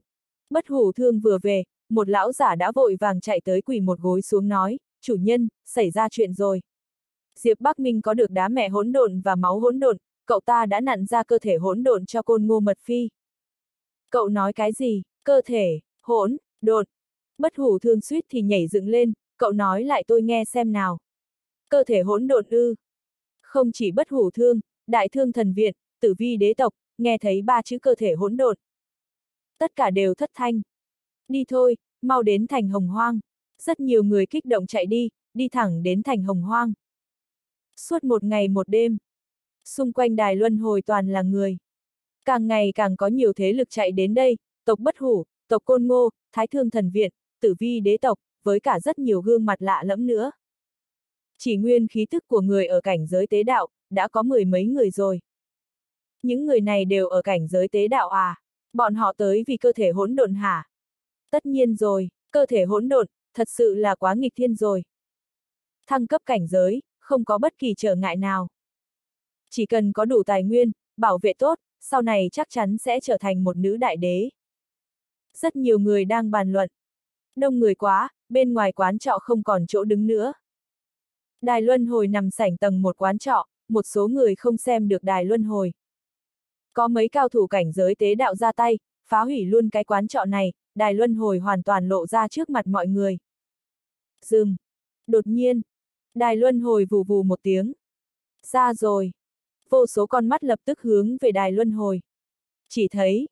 Khí hỗn độn tản đi, Diệp Bắc Minh và Côn Ngô Mật Phi xuất hiện trong tầm mắt mọi người.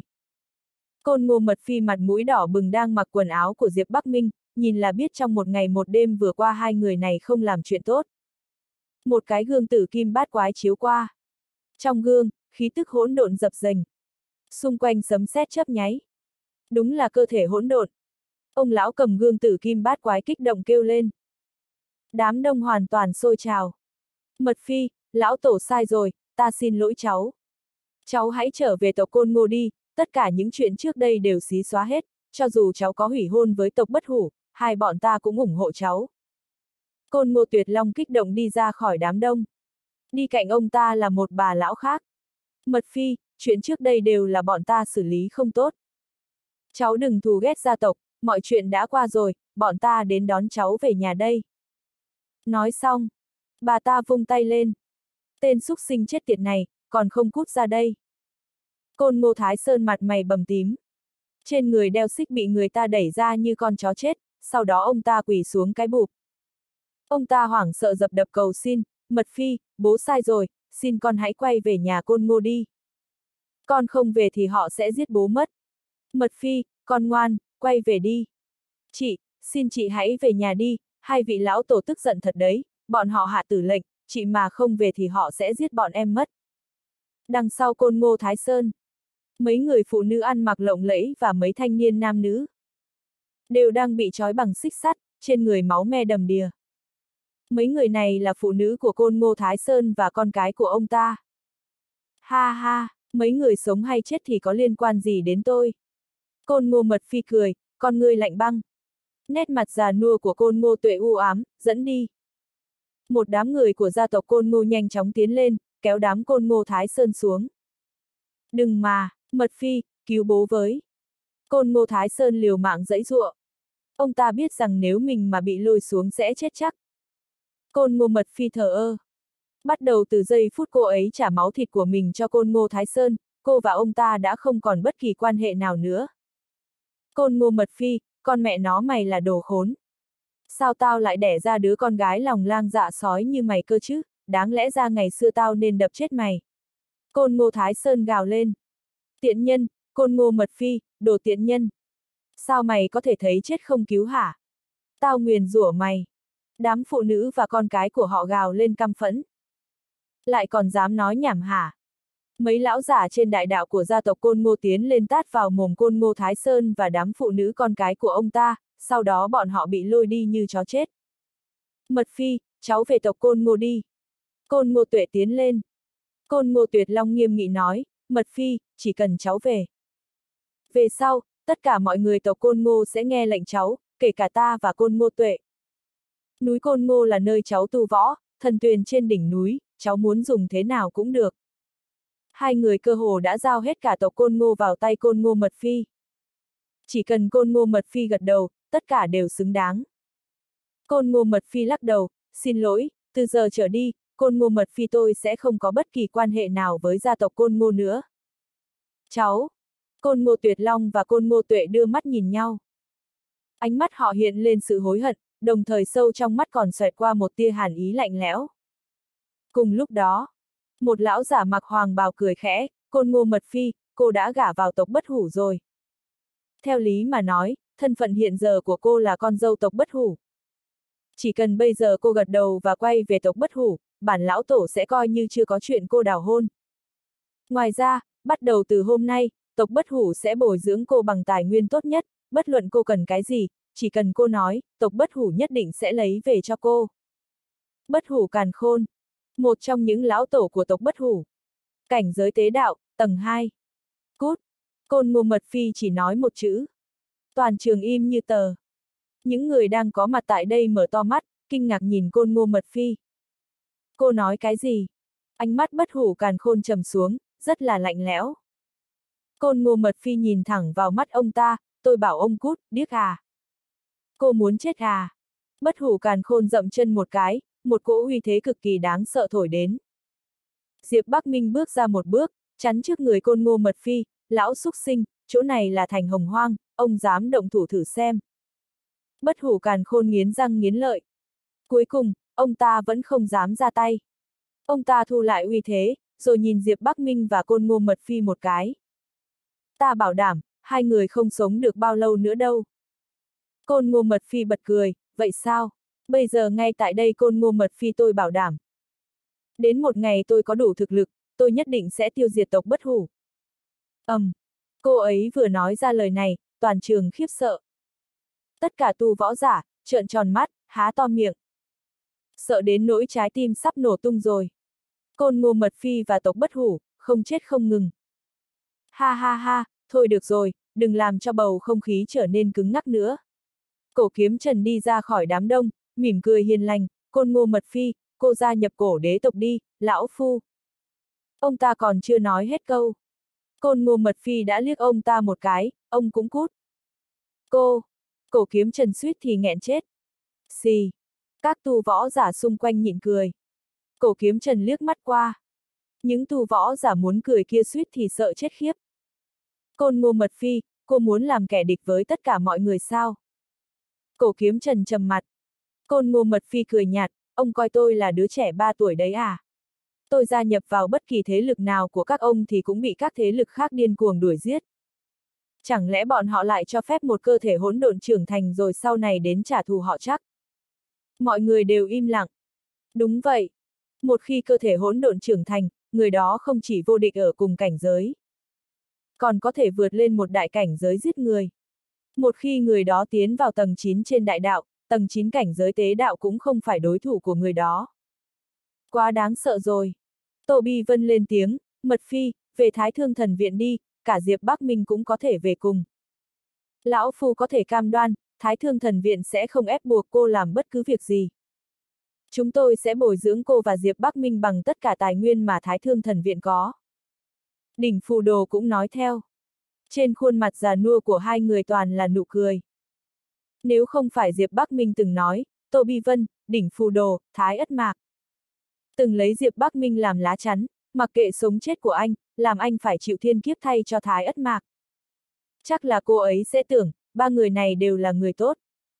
Côn ngô mật phi ngoài cười nhưng trong không cười, Tô Bi Vân, Đỉnh Phù Đồ, hai người là kẻ ngụy quân tử. Cứ giả bộ tiếp đi, để tôi xem hai người còn giả bộ được đến bao giờ. Mật phi. Đôi mắt Tô Bi Vân giật giật. Khuôn mặt già nua của đỉnh phù đồ âm trầm, nói, Mật phi, cô quên hai người chúng tôi đã đối tốt với cô như thế nào rồi sao? Côn ngô Mật phi cười lạnh, đối xử tốt với tôi sao? Là vì tôi vẫn còn giá trị lợi dụng đúng không? Cô, hừ. Vẻ mặt của hai người trở nên hung dữ, hoàn toàn không còn giả vờ nữa. Tô Bi Vân cười mỉa mai, được rồi, để tôi xem cô có thể sống đến lúc nào. Đỉnh phù đồ thâm hiểm nhìn chằm chằm vào Diệp Bắc Minh, tiểu tử, cả đời tôi sau này cũng sẽ không làm gì nữa. Sẽ luôn ở bên ngoài thành hồng hoang, chỉ cần cậu dám bước ra ngoài thành hồng hoang một bước, tôi đảm bảo. Ông ta hét lên dữ dội, nhất định sẽ mở hộp sọ của cậu ra, tra tấn linh hồn cậu. Trong mắt Diệp Bắc Minh hiện lên vẻ lạnh lùng, ai giết ai còn chưa biết đâu. Đúng rồi, hy vọng các người sẽ không giống như Thái Ất Mạc, cầu xin tôi như một con chó. Cái gì? Mọi người có mặt đều kinh ngạc. Diệp Bắc Minh đã giết Thái Ất Mạc. Làm sao có thể như vậy được? Thái Ất Mạc là cảnh giới tế đạo đấy. Ánh mắt nhìn Diệp Bắc Minh đã hoàn toàn thay đổi. Trong đám người phía sau cùng, mí mắt tố vấn giật giật. Thạch trưởng lão, tiểu tử này thật sự từng giết người ở cảnh giới tế đạo sao? Không thể nào. Ánh mắt thạch nghị ngưng trọng, nhìn phản ứng của Tô Bi Vân và đỉnh phù đồ không giống như giả. Trời ơi! Tô Vấn hoàn toàn kinh ngạc. Với thực lực đại đạo cấp 7 của cô ta, nếu gặp phải cảnh giới tế đạo, đừng nói là giết. Cho dù là một chiêu cũng không chống đỡ được. Cảnh giới tế đạo giết đại đạo cấp 7, cấp 8, cấp 9. Hoàn toàn là thảm sát. Căn bản không có khả năng phản kháng. Đừng nói là cảnh giới đại đạo cấp 2, giết cảnh giới tế đạo, giống như là nằm mơ vậy. Bên cạnh đó, một ông lão khác đề nghị, phải ra mặt bây giờ sao? Thạch nghị lắc đầu, chờ một chút đã. Lúc này, Trần Vũ Nhu đỡ một ông lão, chậm rãi đi về phía trước, mật phi, đây là lão tổ của tử vi đế tộc. Tôi là Trần Cung Chính. Gương mặt của ông lão đầy nếp nhăn. Đang muốn mở miệng, côn ngô mật phi lại lắc đầu, Trần Tiền Bối, tôi biết ông muốn nói gì. Kẻ thù của tôi quá nhiều, tôi gia nhập tử vi đế tộc không phải chuyện tốt gì. Trần Cung Chính sửng sốt, sau đó gật đầu, được rồi, tôi hiểu rồi. Một ngày nào đó, nếu thật sự gặp khó khăn, có thể tìm đến nơi trú ẩn của tử vi đế tộc. Nếu có thể giúp được gì, tôi nhất định sẽ giúp một tay. Trong lòng mọi người đều sợ hãi. Thầm nguyền rủa con cáo giả này. Côn ngô mật phi mỉm cười, cảm ơn tiền bối. Mọi người thấy không thế lôi kéo côn ngô mật phi, ánh mắt lạnh lùng của bất hủ càn khôn dán chặt vào Diệp Bắc Minh, tiểu tử, trên người cậu có còn mẫu thạch hỗn độn không? Máu hỗn độn có không? Đương nhiên có. Diệp Bắc Minh tâu tuét. Không chỉ có, mà còn có rất nhiều. Vừa dứt lời. Vừa giơ tay lên, trong tay Diệp Bắc Minh lại xuất hiện một viên mẫu thạch hỗn độn. Dài như một hòn đá mài. Tay còn lại bóp nát một bình sứ nhỏ, máu hỗn độn gần bằng một tách trà lơ lửng giữa không trung. Mẹ kiếp! Vẫn còn chừng này. Chết tiệt, dựa theo số lượng mẫu thạch hỗn độn và máu hỗn độn này, ít nhất có thể tạo ra thêm 10 hỗn độn thể nữa. Hiện trường lại xôn xao. Ngay cả hậu duệ huyết thống hoàng đế, trong mắt cũng hiện lên ánh nhìn như sói. Nhìn chằm chằm vào tay Diệp Bắc Minh, tham lam, hưng phấn, nóng như lửa, lạnh như rừng. Diệp Bắc Minh cười tâu tuét, muốn lấy sao? Đến cướp đi. Chỉ cần giết tôi, những thứ này sẽ là của các người. Bất hủ càn khôn hét lên, tiểu tử, cậu nghĩ là tôi không dám ra tay à? Diệp Bắc Minh thô lỗ diễu cợt, tôi nghĩ ông thật sự không dám ra tay.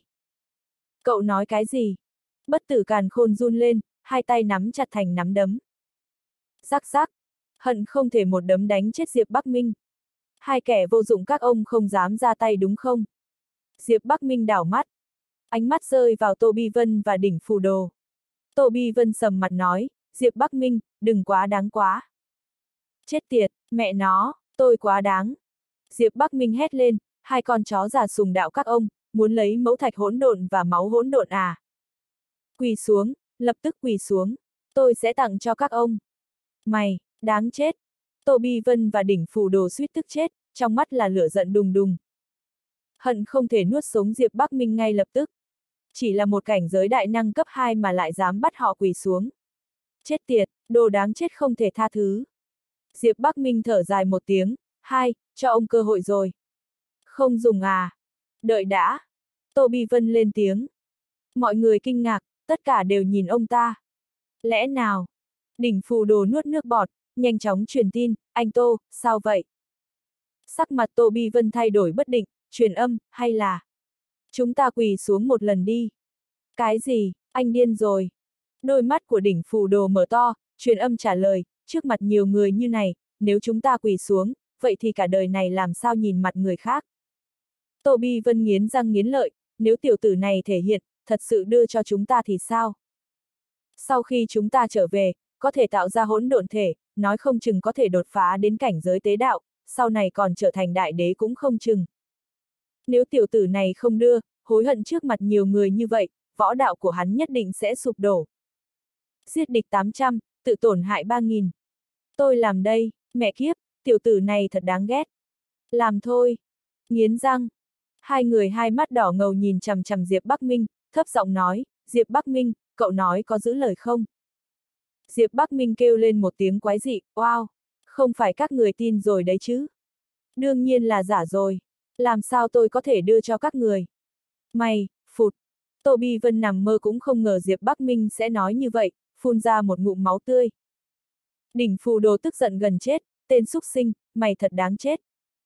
Tao phải giết mày. Tô Bi Vân gầm gừ. Hai người tức giận đến run rẩy, hai mắt đỏ ngầu. Mọi người có mặt đều choáng váng. Hết sức kinh ngạc. Ánh mắt khác thường. Diệp Bắc Minh quá ghê gớm, lại làm cho cảnh giới tế đạo tức giận như vậy. Thạch nghị ở phía sau đám người lắc đầu, tiểu tử này khiêu khích quá, ngộ nhớ Tô Bi Vân và đỉnh phù đồ liều mạng ra tay, sẽ không có kết cục tốt đẹp. Tiến lên một bước, đến trước đám đông, ông lão bên cạnh cũng bước ra theo. Các vị, tôi thấy nên giải tán hết đi, hỗn độn thể đế cung hồng hoang tôi lấy rồi. Thạch Nghị bình tĩnh nói. Bất hủ càn khôn lạnh lùng nói, Thạch trưởng lão, đế cung hồng hoang muốn ỉ thế ức hiếp người khác sao? Vừa dứt lời. Binh! Trên người Thạch Nghị bộc phát ra một sức mạnh vô cùng lớn, lao thẳng đến bất hủ càn khôn. Bất hủ càn khôn bay ra ngoài, ôm ngực phun ra một ngụm máu tươi, đứng cách xa hàng trăm mét. Đúng, đế cung hồng hoang tôi ỷ thế ức hiếp người khác, hài lòng rồi chứ. Thạch nghị gật đầu. Bá đạo. Kiêu ngạo. Vô lý. Ông. Cút. Thấp giọng. Các người đợi đấy. Gương mặt già nua của bất hủ càn khôn run lên, dấp theo người của tộc bất hủ nhanh chóng rời đi. Thạch nghị nhìn xung quanh, những người khác còn đợi gì nữa. Giải tán hết đi. Ngay lập tức, khung cảnh vốn náo nhiệt bỗng chốc trở nên vắng vẻ. Diệp Bắc Minh có chút kinh ngạc, tiểu tháp, thực lực của đế cung hồng hoang này có vẻ cũng có chút đáng sợ. Tháp càn khôn chấn ngục trả lời, có thể nhìn ra được. Giao chỉ cười lạnh, truyền âm, người kế thừa duy nhất của đại đế hồng hoang, cho dù là trước khi thời đại đại đế sụp đổ, đại đế hồng hoang cũng là một trong số vài người đáng sợ nhất. Nếu tôi đoán không lầm, trong thành hồng hoang này chắc hẳn phải có vũ khí của đại đế. Trong lòng Diệp Bắc Minh khẽ động. Giao chỉ đột nhiên cười thần bí, Diệp Bắc Minh, có dám chơi lớn không? Ý gì? Diệp Bắc Minh giật mình. Giao chỉ mỉm cười nói, vũ khí của đại đế là một cổ tháp. Nếu có thể khiến tháp càn khôn chấn ngục của anh nuốt chừng nó, tháp càn khôn chấn ngục có thể trực tiếp biến thành binh khí đế đạo. Nếu có thể tăng cấp bậc của tiểu tháp, thì đó là một chuyện rất tốt đối với tiểu tháp và anh. Có thể làm được thật sao? Giao chỉ kiêu ngạo cười một cái, đương nhiên là ngươi không thể làm được, nhưng có bổn đế ở đây. Bổn đế có thể cho ngươi tế luyện lại tháp càn khôn chấn ngục, đạt tới mức độ cắn nuốt được binh khí đại đế. Tiếp theo đó, Giao chỉ truyền dạy luôn một bài kinh văn, bài kinh văn xuất hiện trong đầu Diệp Bắc Minh. Diệp Bắc Minh đọc một lượt, rúng động ghê gớm. Trong lòng nhiệt huyết dâng trào. Thạch Nghị cùng một lão giả khác đi đến trước mặt côn ngô mật phi. Côn ngô cô nương, hai chúng tôi mời cô gia nhập đế cung hồng hoang. Côn ngô mật phi hơi do dự. Tất nhiên cô ta biết, gia nhập đế cung hồng hoang là lựa chọn tốt nhất. Suy nghĩ một lát, cô ta nói, tôi có thể gia nhập đế cung hồng hoang, nhưng các ông phải nhận cả tiểu minh minh nữa. Chuyện này, Thạch Nghị cùng một lão giả khác lắc đầu khó xử, e là không được. Đế cung hồng hoang có quy định, Diệp Bắc Minh không có duyên với đế cung hồng hoang. Côn ngô mật phi từ chối luôn, vậy thì thôi. Diệp Bắc Minh không đi, tất nhiên cô ta cũng không đi. Giao chỉ truyền âm, Diệp Bắc Minh, người phải gia nhập đế cung hồng hoang. Không cần gia nhập, nhưng người phải tham gia vào nội bộ đế cung hồng hoang. Không gia nhập đế cung hồng hoang, thì không được gặp hồng hoang cổ tháp. Và càng khỏi nói đến chuyện cắn nuốt.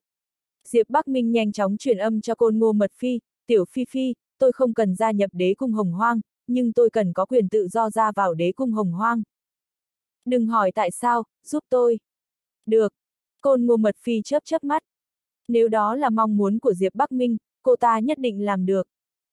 Vì thế, cô ta nói khác đi, tiểu minh minh không gia nhập đế cung hồng hoang cũng được, nhưng phải được ra vào tự do. Tôi cần gặp anh ấy bất cứ khi nào tôi muốn, nếu ngay cả điều này các ông cũng không đáp ứng được, tôi sẽ không gia nhập đâu. Hai người sửng sốt. Lão ngô, ông thấy sao? Thạch nghị truyền âm. Lão ngô trả lời, thiếu nữ mơ mộng yêu đương ý mà, cứ để con bé gia nhập đế cung trước rồi tính tiếp. Thể chất hỗn độn trưởng thành rất nhanh, một khi cô ta giỏi hơn tên nhóc này, rồi quen thêm các thiên tài khác trong đế cung, tự nhiên sẽ lạnh nhạt với Diệp Bắc Minh thôi. Tôi cũng nghĩ vậy. Thạch nghị âm thầm gật đầu. Hai người nhìn nhau cười. Được, tôi sẽ dẫn cô về đế cung trước. Ông ta dẫn côn ngô mật phi đi về phía đế cung hồng hoang. Diệp Bắc Minh đứng yên tại chỗ, chỉ vào u nhược, cô ấy đi cùng chúng tôi. Lão ngô rất là hào phóng, đi cùng luôn đi, chỉ cần không gia nhập, các cô cậu cứ ra vào tự do. Mọi người đến trước đế cung hồng hoang, đi qua cửa cung hùng vĩ, cảnh quan trước mắt sáng tỏ thông suốt. Quảng trường trung tâm rộng lớn, một đài võ đạo lơ lửng giữa không trung. Xung quanh quảng trường, 999 ngọn núi tọa long bao quanh. Trên mỗi đỉnh núi, là một tòa cung điện cổ kính. 999 ngọn núi rồng. Diệp Bắc Minh sửng sốt. Không ngờ, những ngọn núi rồng này lại giống với di tích côn luân thượng cổ. Nhưng nó hùng vĩ và hoành tráng hơn. Chẳng lẽ di tích côn luân thượng cổ của hoa tộc là mô phỏng theo cái này? Càng đi vào trong Diệp Bắc Minh càng kinh ngạc, quảng trường này rất lợi hại, dường như mỗi một viên gạch đều có một cỗ ý vị trong đó. Tô Vấn hử lạnh, đồ thiếu hiểu biết, đế cung hồng hoang là hành cung của hồng hoang đại đế. Từng viên gạch, từng lát ngói, đều có đạo vận trên đó. Nếu anh mà lĩnh ngộ được thì đủ ăn cả đời. Nhưng anh lĩnh ngộ được chắc, đồ nhà quê. Diệp Bắc Minh nhíu mày. Anh còn chưa nói gì. Côn ngô mật phi đi đến trước mặt Tố Vấn, giơ tay tát một cái. Bốp! Thanh âm trong trẻo. Tố Vấn ôm má, cực kỳ căm giận nhìn chằm chằm côn ngô mật phi, cô dám đánh tôi. Thạch Nghị và lão ngô giật cả mình, họ không ngờ côn ngô mật phi lại bất ngờ đánh người. Cô nàng này nóng nảy quá. Người đàn ông của tôi là người mà cô có thể châm chọc sao? Côn ngô mật phi cười lạnh cảnh cáo, nói cho cô biết, đây là lần đầu tiên và cũng là lần duy nhất, lần cuối cùng luôn. Nếu cô còn dám châm chọc người đàn ông của tôi một câu nào nữa, tôi sẽ xé miệng cô ra. Cô! Tố Vân ôm má. Giấu năm ngón tay đỏ bừng dễ dàng trông thấy. Chưa bao giờ cô ta bị nhục nhã như này, cô ta chỉ muốn tìm một cái lỗ chui vào thôi. Tố vấn, thôi bỏ đi. Thạch nghị lắc đầu. Tố vấn nghiến răng nghiến lợi nuốt vào vào bụng, rồi liếc xéo Diệp Bắc Minh một cái xong không nói câu nào nữa. Tháp càn khôn chấn ngục cười nói, nhóc con, cô bé này bảo vệ cậu thật đấy. Cá tính này, bổn tháp thích. Diệp Bắc Minh cười trả lời, tiểu tháp, ông thích cũng vô dụng. Tháp càn khôn chấn ngục chuyển chủ đề, không đùa nữa, cô nương tố vấn này không phải người hiền lành gì. Thoạt nhìn như một đóa bạch liên hoa, vô hại, cẩn thận cô ta lén lút đối phó cậu. Yên tâm. Diệp Bắc Minh gật đầu. Một lúc sau, đoàn người đi đến trước một tòa đế cung hồng hoang. Thạch Nghị nói, Diệp Bắc Minh, tôi dẫn côn ngô mật phi đi gặp cung chủ, sẽ đi một lúc đấy. Ngoại trừ 999 ngọn núi rồng là khu vực riêng tư của đệ tử trong cung, cậu có thể hoạt động thoải mái ở đấu trường luyện võ, luyện đan các, luyện khí các, núi ngộ đạo. Côn ngô mật phi đi qua kéo tay Diệp Bắc Minh, tiểu minh minh, chờ tôi về nhé. Được. Diệp Bắc Minh gật đầu. Côn ngô mật phi đi theo thạch nghị và chu trưởng lão. Ha ha. Tô Vấn cười lạnh một tiếng, sau đó quay người bỏ đi. U nhược hơi tức giận, người phụ nữ này điên à. Chúng ta đâu nợ cô ta cái gì, cô ta kiêu ngạo cái gì chứ? Có ai là tầng 7 cảnh giới đại đạo đâu? Nếu tôi mà không bị thương, đánh với cô ta một trận, chưa chắc tôi đã thua. Mặc kệ cô ta, chúng ta đi quanh đây xem đi. Diệp Bắc Minh lắc đầu. Anh không hề để tâm chút nào. Hai người sánh vai đi ra ngoài quảng trường. Giao chỉ chợt truyền âm, Diệp Bắc Minh, đừng đi vội. Nhìn kỹ gạch lát trên quảng trường này đi, nó có lợi cho người đấy. Diệp Bắc Minh dừng bước, là sao? Giao chỉ giải thích, Hồng Hoang Đại Đế đã sống ở đây hơn trăm triệu năm, từng viên gạch đều được ông ấy đi qua. Nó lưu lại đạo vận cấp Đại Đế. Nếu ngươi lĩnh ngộ được đạo vận này, nói không chừng sẽ có thu hoạch đấy. Nhắm mắt lại, cảm nhận sâu. Diệp Bắc Minh làm theo. U Nhược phát hiện Diệp Bắc Minh đã dừng bước, cô ta quay đầu lại, chớp chớp mắt sinh. Diệp công tử, sao anh lại dừng lại? Trên những viên gạch lát sân này còn sót lại đạo vận của Hồng Hoang Đại Đế, cô cũng thử cảm ngộ đi, làm được sẽ có lợi cho cô đấy. Diệp Bắc Minh nói. Vậy sao? U Nhược nghĩ thầm, chỉ là mấy viên gạch thì có thể cảm ngộ ra cái gì được. Nhưng nếu Diệp Bắc Minh đã nói vậy, cô ta vô thức chọn tin tưởng. Hai người dừng lại, cúi đầu. Quan sát gạch lát sân trên mặt đất. Nhìn một lúc, Diệp Bắc Minh chợt phát hiện, vị trí của mỗi viên gạch đều vừa vặn. Hoàn chỉnh tự nhiên. Khe hở giữa các đường gạch, kể cả từng đường vân trên sàn gạch. Giống như tồn tại trời sinh kết hợp với nhau. Dường như, toàn bộ quảng trường trở thành một chỉnh thể. Khi Diệp Bắc Minh lĩnh hội, đúng là đồ nhà quê, chẳng biết gì cả, thế mà lại đi nhìn chằm chằm mấy viên gạch. Phía sau vang lên một giọng nói cực kỳ trào phúng. Hai người nhíu mày, rồi quay đầu lại nhìn. Chỉ thấy, một thanh niên áo lam dẫn theo bảy tám đứa bạn cùng lứa, đứng ở đằng sau cách họ mấy chục mét rồi nhìn họ với vẻ mặt nghiền ngẫm. Phạm sư huynh, anh đừng có mà nói vậy. Một thanh niên áo xanh lá đứng cạnh khoanh tay trước ngực nói, chỗ chúng ta là đế cung hồng hoang, vớ bừa một viên gạch cũng có đạo vận mà đại đế để lại đấy. Loại nhà quê như này làm gì được thấy đạo vận của đại đế bao giờ đâu. Dù chỉ là một viên gạch dưới chân, anh ta vẫn phải nghiên cứu tỉ mỉ ý. U nhược trầm mặt, tức giận nói, các ngươi nói ai hả? Phạm Anh Kiệt nhếch môi bấn cợt, đương nhiên là nói hai người rồi, chẳng lẽ ở đây còn tên nhà quê nào khác à? Ha ha ha! Đám thanh niên áo xanh ôm bụng cười to. Diệp Bắc Minh lắc đầu, một đám phế vật, may mà chúng tôi không gia nhập đế cung hồng hoang, không thì lại phải làm bạn với đám phế vật này đấy nhỉ. Đều đã tu luyện đến đại đạo chi thượng tầng 5 tầng 6 rồi, IQ vẫn như trẻ lên ba. Đồ nhà quê, là câu châm chọc vô dụng nhất là tôi từng nghe, không có sức sát thương đâu. Từ trước đến nay, có câu nói ác độc nào mà anh chưa nghe đâu. Đồ nhà quê, cái kiểu câu châm chọc này mà cũng có lực sát thương á. Xì. U nhược phì cười. Đám Phạm Anh Kiệt bực bội, tên kia, anh bảo ai là đồ phế vật hả? Tất nhiên là nói bảy người các cậu rồi, chẳng lẽ ở đây còn có phế vật khác à? Diệp Bắc Minh không khách khí tí nào. Sau đó anh lại nhìn sang U Nhược với vẻ ngập ngừng, U Nhược cô nương, cô có phải phế vật không? Đương nhiên là không. U Nhược che miệng, rất là phối hợp hỏi Diệp Bắc Minh, Diệp công tử, anh là phế vật à? Tôi cũng không. Diệp Bắc Minh mỉm cười, thế cô đoán ai là phế vật? Đù mé. Phạm Anh Kiệt như thùng thuốc nổ, châm lửa là cháy. Khí tức của đại đạo chi thượng tầng 6 lập tức thổi tới. Nếu không có thanh niên áo xanh đứng bên cạnh giữ lại, e là anh ta đã ra tay với Diệp Bắc Minh rồi. Phạm Sư Huynh, Huynh quên quy định của đế cung à? Ai mà đánh nhau riêng sẽ phải úp mặt vào tường 100 triệu năm đấy. Nghe đến con số 100 triệu năm, Phạm Anh Kiệt nuốt nước miếng. Anh ta nhanh chóng bình tĩnh lại. Rồi lạnh lùng nhìn Diệp Bắc Minh, tên kia, anh có dám lên đài đánh một trận với tôi không? Xem xem rốt cuộc ai là phế vật. Diệp Bắc Minh lắc đầu, không nói gì. Sao nào, không dám à? Phạm Anh Kiệt châm chọc. Diệp Bắc Minh nhìn anh ta với ánh mắt thương hại, cậu không chỉ vô dụng, còn não tàn hả? Tôi mới ở cảnh giới đại năng tầng 2, còn cậu đã là đại đạo chi thượng tầng 6 rồi. Tôi với cậu lên võ đài đánh một trận ư, sao cậu có thể nói ra cậu đấy vậy? Phốc, Diệp công tử, anh, U nhược che miệng. Cố nhịn. Cô chợt phát hiện, Diệp Bắc Minh không chỉ có thực lực khủng bố. Còn độc miệng nữa. Sao trước đây không phát hiện ra nhỉ? Anh. Phạm Anh kiệt tức lắm rồi, anh ta cứ anh nửa ngày, mãi không nói được một câu hoàn chỉnh. Cách đó mấy trăm mét. Tố vẫn ở trong hư không, ẩn mình rồi truyền âm quát, Phạm Anh Kiệt, cậu tu võ 2 tỷ 300 triệu năm xong cậu tu thành ngốc luôn à? Cảnh giới tế đạo mời cậu lên võ đài đánh một trận, cậu có lên không? Cứ trực tiếp ra tay giết luôn anh ta đi, cần gì lên võ đài? Phạm Anh Kiệt cả kinh, tố vấn sư tỷ, giết luôn á. Tố vấn đỏ hồng mắt, nói nhảm. Cùng lắm thì úp mặt vào tường 500 triệu năm, tôi bảo đảm không sao. Được. Phạm Anh Kiệt cắn răng, trong lòng bùng lên sát ý. Tháp càn khôn chấn ngục nhắc nhở một câu, này, cẩn thận sát ý của cậu ta. Xoẹt.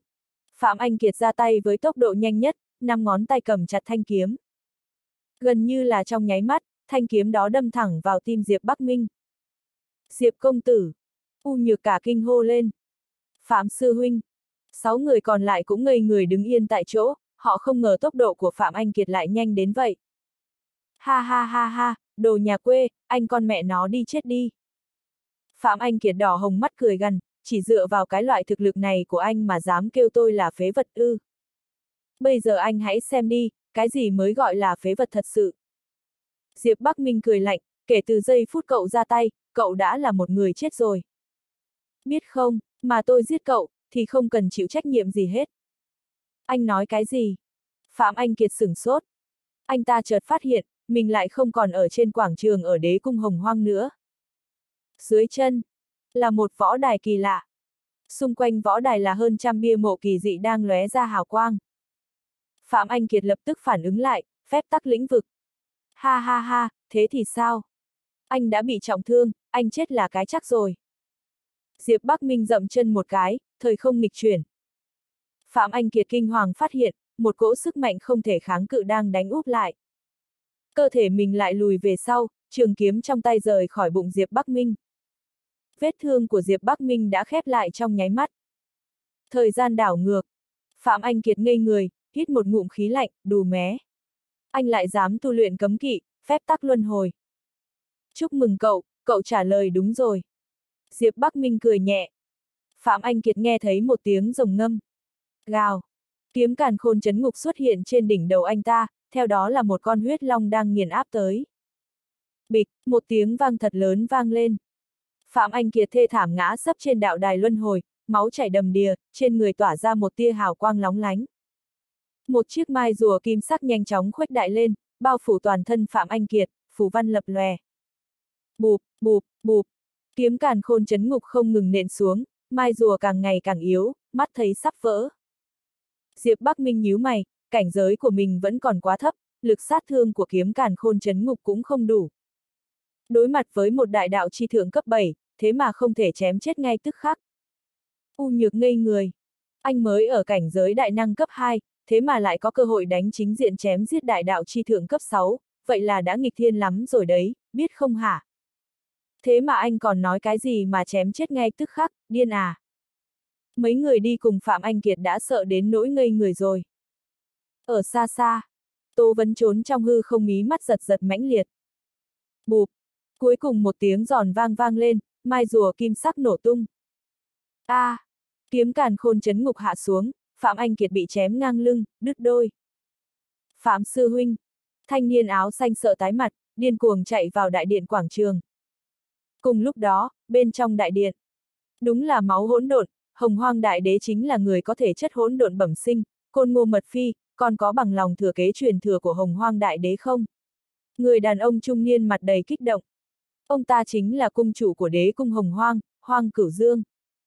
Côn ngô mật phi gật đầu, đệ tử bằng lòng. Tốt. Hoang Cửu Dương mỉm cười, con đi xuống đi. Côn ngô mật phi quay người lại, chân trước vừa mới ra khỏi đại điện. Thạch Nghị và Lão Chu đưa mắt nhìn nhau rồi tiến lên nói, cung chủ, Diệp Bắc Minh không chỉ có mẫu thạch hỗn độn và máu hỗn độn, cậu ta còn biết về phép tắc luân hồi. Phép tắc luân hồi ư. Hoang cửu dương nhíu mày. Phép tắc luân hồi đã bị đứt truyền thừa rồi mà. Toàn bộ bổn nguyên chân giới cũng không ai biết, sao cậu ta biết được. Đợi đã, lẽ nào cậu ta đi ra từ nhà tù số 7? Đúng vậy. Thạch Nghị và Lão Chu gật đầu. Ánh mắt hoang cửu dương u ám, phép tắc luân hồi của cậu ta, đã luyện đến tầng thứ mấy rồi. Thạch Nghị suy nghĩ rồi nói, vừa mới ngưng tụ ra đạo đài luân hồi, phỏng chừng ở tầng 3. Nhưng đạo đài luân hồi của cậu ta có phần khác với trong ghi chép, xung quanh đạo đài có hơn 100 bia mộ. Hơn 100 bia mộ ư, hoang cửu dương nghi hoặc. Đột nhiên, ánh mắt ông ta trầm xuống. Mặc kệ cậu ta tu luyện phép tắc luân hồi đến tầng mấy, cũng buộc phải phế bỏ. Thạch nghị nhíu mày, liệu mật phi có đồng ý không? Con bé này rất coi trọng tên nhóc đó. Nếu chúng ta cưỡng ép phế bỏ công pháp của cậu ta, e là sẽ làm con bé phản cảm. Hoàng cửu dương khẽ hừ, lão thạch, sao ông càng sống càng thụt lùi vậy? Để cậu ta đi vào nơi đó, trừ phi có một đại đế sống chỉ dẫn cho cậu ta. Nếu không, không cần chúng ta ra tay, công pháp luân hồi của cậu ta sẽ bị phế. Đến lúc đó cứ bảo là bản thân cậu ta bất cẩn, liên quan gì đến chúng ta? Thạch nghị kinh ngạc, cung chủ, ý ngài là. Còn chưa nói hết câu. Thanh niên áo xanh đã xông vào đại điện, hoảng loạn quỳ xuống, cung chủ, hai vị trưởng lão, xảy. Xảy ra chuyện rồi. Phạm sư huynh sắp bị Diệp Bắc Minh kia giết rồi. Hoang cửu dương, thạch nghị, ông Chu lao ra khỏi đại điện. Đột nhiên bị cảnh tượng trước mắt làm cho choáng váng. Chỉ thấy, trên đạo đài luân hồi, Phạm Anh Kiệt bị xé thành hai mảnh một cách bi thảm, nửa thân trên kinh hãi cầu xin sự thương xót. Một thanh kiếm dài cổ xưa chém thẳng vào đỉnh đầu Phạm Anh Kiệt. Diệp Bắc Minh, dừng tay. Ông Chu trầm giọng lên tiếng. Phụt. Kiếm càn khôn chấn ngục đè xuống, thân thể bằng xương bằng thịt của Phạm Anh Kiệt vỡ vụn ngay tại chỗ. Một đạo thần hồn lao ra. Ông Chu, cứu mạng. Phạm Anh Kiệt kinh hãi hét lên. Ông Chu lao tới, cố gắng cứu lấy thần hồn của Phạm Anh Kiệt. Phần thiên chi diễm. Diệp Bắc Minh hét lên, triệu tập một con rồng lửa, trực tiếp nuốt chừng thần hồn của Phạm Anh Kiệt, biến nó thành cho bụi. Ông Chu gần như tức giận đến chết mất, dừng lại trên đạo đài luân hồi, nghiến răng nghiến lợi nhìn Diệp Bắc Minh, Diệp Bắc Minh, cậu không nghe thấy tôi nói sao? Diệp Bắc Minh bình tĩnh trả lời, nghe thấy. Ông Chu tức giận hét lên, nếu đã nghe thấy, tôi bảo cậu dừng tay, sao cậu không dừng lại? Diệp Bắc Minh hỏi ngược lại, tại sao tôi phải dừng lại? Đóng lĩnh vực luân hồi. Tiện tay nắm lấy không khí. Tóm lấy cây thương dài màu vàng của Phạm Anh Kiệt, chĩa về một hướng nhất định trong khoảng không, ném ra ngoài. Tiểu tháp, nổ tung. Được. Tháp càn khôn chấn ngục đáp lại, toàn bộ sức mạnh của nó đều truyền vào cơ thể Diệp Bắc Minh. Không được. Tố vấn đang ẩn náu trong hư không, sắc mặt liền thay đổi lớn. Thoát khỏi hư không, xoay người bỏ chạy. Cây thương màu vàng như thể có mắt, khóa chặt mọi lối thoát của Tố Vấn. Tố Vấn luống cuống, ném ra một miếng ngọc bội. Bang, một tiếng, ngọc bội nổ tung. Cô ta lại lấy ra binh khí của mình, một thanh kiếm dài đỏ rực, muốn chặn cây thương màu vàng. Trực tiếp gãy nứt. Căn bản không thể chặn được sức mạnh này. Đừng mà. Giọng nói của Tố Vấn đầy vẻ sợ hãi. Sắp bị cây thương màu vàng đâm thủng. Một bóng người xuất hiện trước mặt cô ta, dùng một tay nắm lấy nó. Cây thương màu vàng nổ tung, hóa thành những mảnh vỡ khắp bầu trời. Ông bàng. Mọi người đều nhìn ông già lưng gù xuất hiện. Bàng Vân, cảnh giới tế đạo cấp 2. Sư phụ. Tô Vấn thở phào nhẹ nhõm, lưng đã ướt đẫm mồ hôi lạnh. Cô ta có cảm giác, nếu chúng đòn vừa rồi của Diệp Bắc Minh, cô ta chắc chắn sẽ chết. Bàng Vân không để ý đến Tố Vấn, bàn tay vừa tóm lấy cây thương màu vàng để ở sau lưng, đôi mắt lạnh lùng dán chặt vào Diệp Bắc Minh. Tiểu tử, cậu muốn giết đồ đệ của bàng Vân tôi sao? Diệp Bắc Minh lắc đầu, ông bàng, ông hiểu lầm rồi, trượt tay. Hay cho câu trượt tay. Ha ha ha. Bàng Vân cười nham hiểm, trên người cậu vẫn còn có mẫu thạch hỗn độn phải không? Diệp Bắc Minh gật đầu, ông bàng, vẫn còn rất nhiều. Nhưng, đại khái là tôi sẽ không đưa cho ông, ông chỉ có thể nghĩ cách mà cướp thôi. Nếu ông dám cướp trước mặt mọi người, tôi kính ông là một hảo hán. Còn không thì ông ở sau lưng nghĩ cách đi. Khóe miệng hiện lên một tia cười cợt. Là tôi nghe nhầm sao? Một số đệ tử của đế cung hồng hoang có mặt tại hiện trường đều sợ đến mức tê cả ra đầu. Tên này nhất định là một kẻ điên. Sao anh ta dám nói chuyện với bàng vân như thế? Trong khoảng không xa xa, hàng trăm bóng người đứng trên bầu trời, từ xa nhìn lại. Đây đều là đệ tử của đế cung hồng hoang, bọn họ bị động tính vừa rồi thu hút đến, chỉ cần là ở trong đế cung, cơ bản đều xuất hiện. U nhược, người cách Diệp Bắc Minh không xa, đã chết lặng vì sốc. Bàng Vân nheo mắt, không chút biểu cảm, xoay người rời đi cùng Tố Vấn. Thậm chí, còn không chào hỏi Hoang Cửu Dương, Thạch Nghị hay ông Chu. Diệp Bắc Minh, cậu còn chưa trả lời tôi, tại sao lại giết Phạm Anh Kiệt? Ông Chu hét lên. Diệp Bắc Minh liếc ông ta một cái, nhàn nhạt nói, không được giết. Thái độ này là gì? Cậu! Ông Chu tức giận gần chết, cậu ta là đệ tử của đế cung hồng hoang. Đôi mắt đẹp của côn ngô mật phi tối sầm lại, ông Chu, đế cung hồng hoang chúng ta chắc là không có quy định gì về việc đánh lén khách phải không? Vẻ mặt của ông Chu thay đổi, cho dù vậy, tội của Phạm Anh Kiệt cũng không đến mức phải chết. Diệp Bắc Minh nhất định phải cho tôi một câu giải thích. Giải thích, ha ha. Côn ngô mật phi cười lạnh một tiếng, Phạm Anh Kiệt đánh lén người đàn ông của tôi, vốn là đáng chết. Lùi một bước mà nói, cho dù vừa rồi anh ta vẫn chưa chết. Côn ngô mật phi tôi nếu sau này có cơ hội, cũng nhất định sẽ giết anh ta. Ông Chu, câu giải thích của tôi, ông hài lòng rồi chứ? Bá đạo, mạnh mẽ, không cho chút thể diện nào. Đây chính là hỗn độn thể. Ngày đầu tiên gia nhập đế cung, đã hống hách như vậy, sau này trưởng thành rồi, chẳng phải sẽ càng mạnh mẽ hơn sao? Trong không trung xa xa, hàng trăm con mắt đổ dồn về phía côn ngô mật phi. Nhấp nháy bất định. Ông Chu mở miệng. Không ngờ côn ngô mật phi lại dám nói như vậy. Được rồi, ông Chu. Hoang cửu dương lắc đầu, bản thân Phạm Anh Kiệt có lỗi, công kích khách của đế cung hồng hoang đã rất mất mặt rồi. Cái chết của anh ta coi như là một lời cảnh báo. Vâng. Ông Chu nghiến răng nghiến lợi. Hoang cửu dương liếc nhìn thanh niên mặc áo xanh, mấy người các cậu, úp mặt vào tường suy nghĩ một triệu năm. Mấy người cúi đầu thất vọng, xoay người chuẩn bị rời đi. Đợi đã. Xoạt. Ánh mắt của tất cả mọi người đều đổ dồn vào Diệp Bắc Minh. Cậu Diệp, cậu còn gì muốn nói sao? Hoang cửu dương nhàn nhạt nhìn hắn. Diệp Bắc Minh không hề sợ hãi, quay đầu nhìn thẳng Hoang Cửu Dương, ông chính là cung chủ của đế cung Hồng Hoang. Phạm Anh Kiệt chính là thủ phạm chính, những người này chính là đồng phạm. Phạm Anh Kiệt đã chết rồi, lẽ nào những người này chỉ phải úp mặt vào tường một triệu năm là xong? Hoang Cửu Dương cau mày, cậu muốn thế nào? Diệp Bắc Minh cười nói, phế bỏ tu vi, đuổi ra khỏi đế cung Hồng Hoang. Cậu nói cái gì? Hoang Cửu Dương cau mày. Ông Chu hét lên, Diệp Bắc Minh, đừng có quá đáng quá. Phạm Anh Kiệt và mấy người này đều là đệ tử dưới tay ông ta. Diệp Bắc Minh cười lắc đầu, quá đáng sao. Bọn họ và Phạm Anh Kiệt cùng nhau tới gây phiền toái cho tôi, muốn giết tôi. Ông Chu, nếu như bây giờ tôi trực tiếp ra tay giết ông, lỡ như... Thất bại. Hả, ông có từ bi tha cho tôi không? Diệp Bắc Minh lạnh lùng chất vấn. Cho dù ông Chu là cảnh giới tế đạo cấp 2, vẫn không cho chút thể diện nào. Trong mắt ông Chu tràn đầy tức giận. Diệp Bắc Minh hét lớn, ông Chu, trả lời, tôi. Dùng võ đạo của ông, từng chữ, từng chữ trả lời tôi, có tha cho tôi không? Ông Chu nắm chặt nắm đấm, muốn lập tức xé nát Diệp Bắc Minh. Diệp Bắc Minh, tiểu tử này, to gan đấy. Lại dám mắng ông Chu như vậy. Hàng trăm bóng người ở đằng xa đang thì thầm bàn luận. Rất nhiều người ánh mắt lóe lên, đều chú ý tới Diệp Bắc Minh.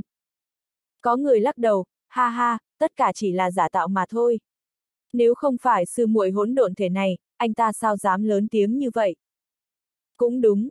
Có người gật đầu tán đồng. Côn ngô mật phi lạnh lùng nói, ông Chu, xin hãy dùng võ đạo trả lời câu hỏi này đi. Ông Chu nắm chặt tay, hai từ bật ra từ kẽ răng, không thể. He he. Khóe miệng Diệp Bắc Minh hiện lên một nụ cười, ông Chu không hào phóng như vậy, vì sao muốn tôi tha bọn họ? Cho nên, tôi không giết bọn họ là đã hào phóng hơn ông Chu rồi nhỉ? Ngay khi những lời này được thốt ra, mọi người đều bối rối. Chết tiệt! Tiểu tử này, thật biết ăn nói. Không chỉ khiến ông Chu tức giận gần chết, mà còn tự nhận mình là người vô cùng cao thượng. Cuối cùng, còn đá ông Chu một cái. Tuyệt! Quá tuyệt vời! Ông Chu không thể kìm nén được cơn tức giận trong lòng nữa, trực tiếp ra tay. Audio điện tử võ tấn bền. Hết tập 127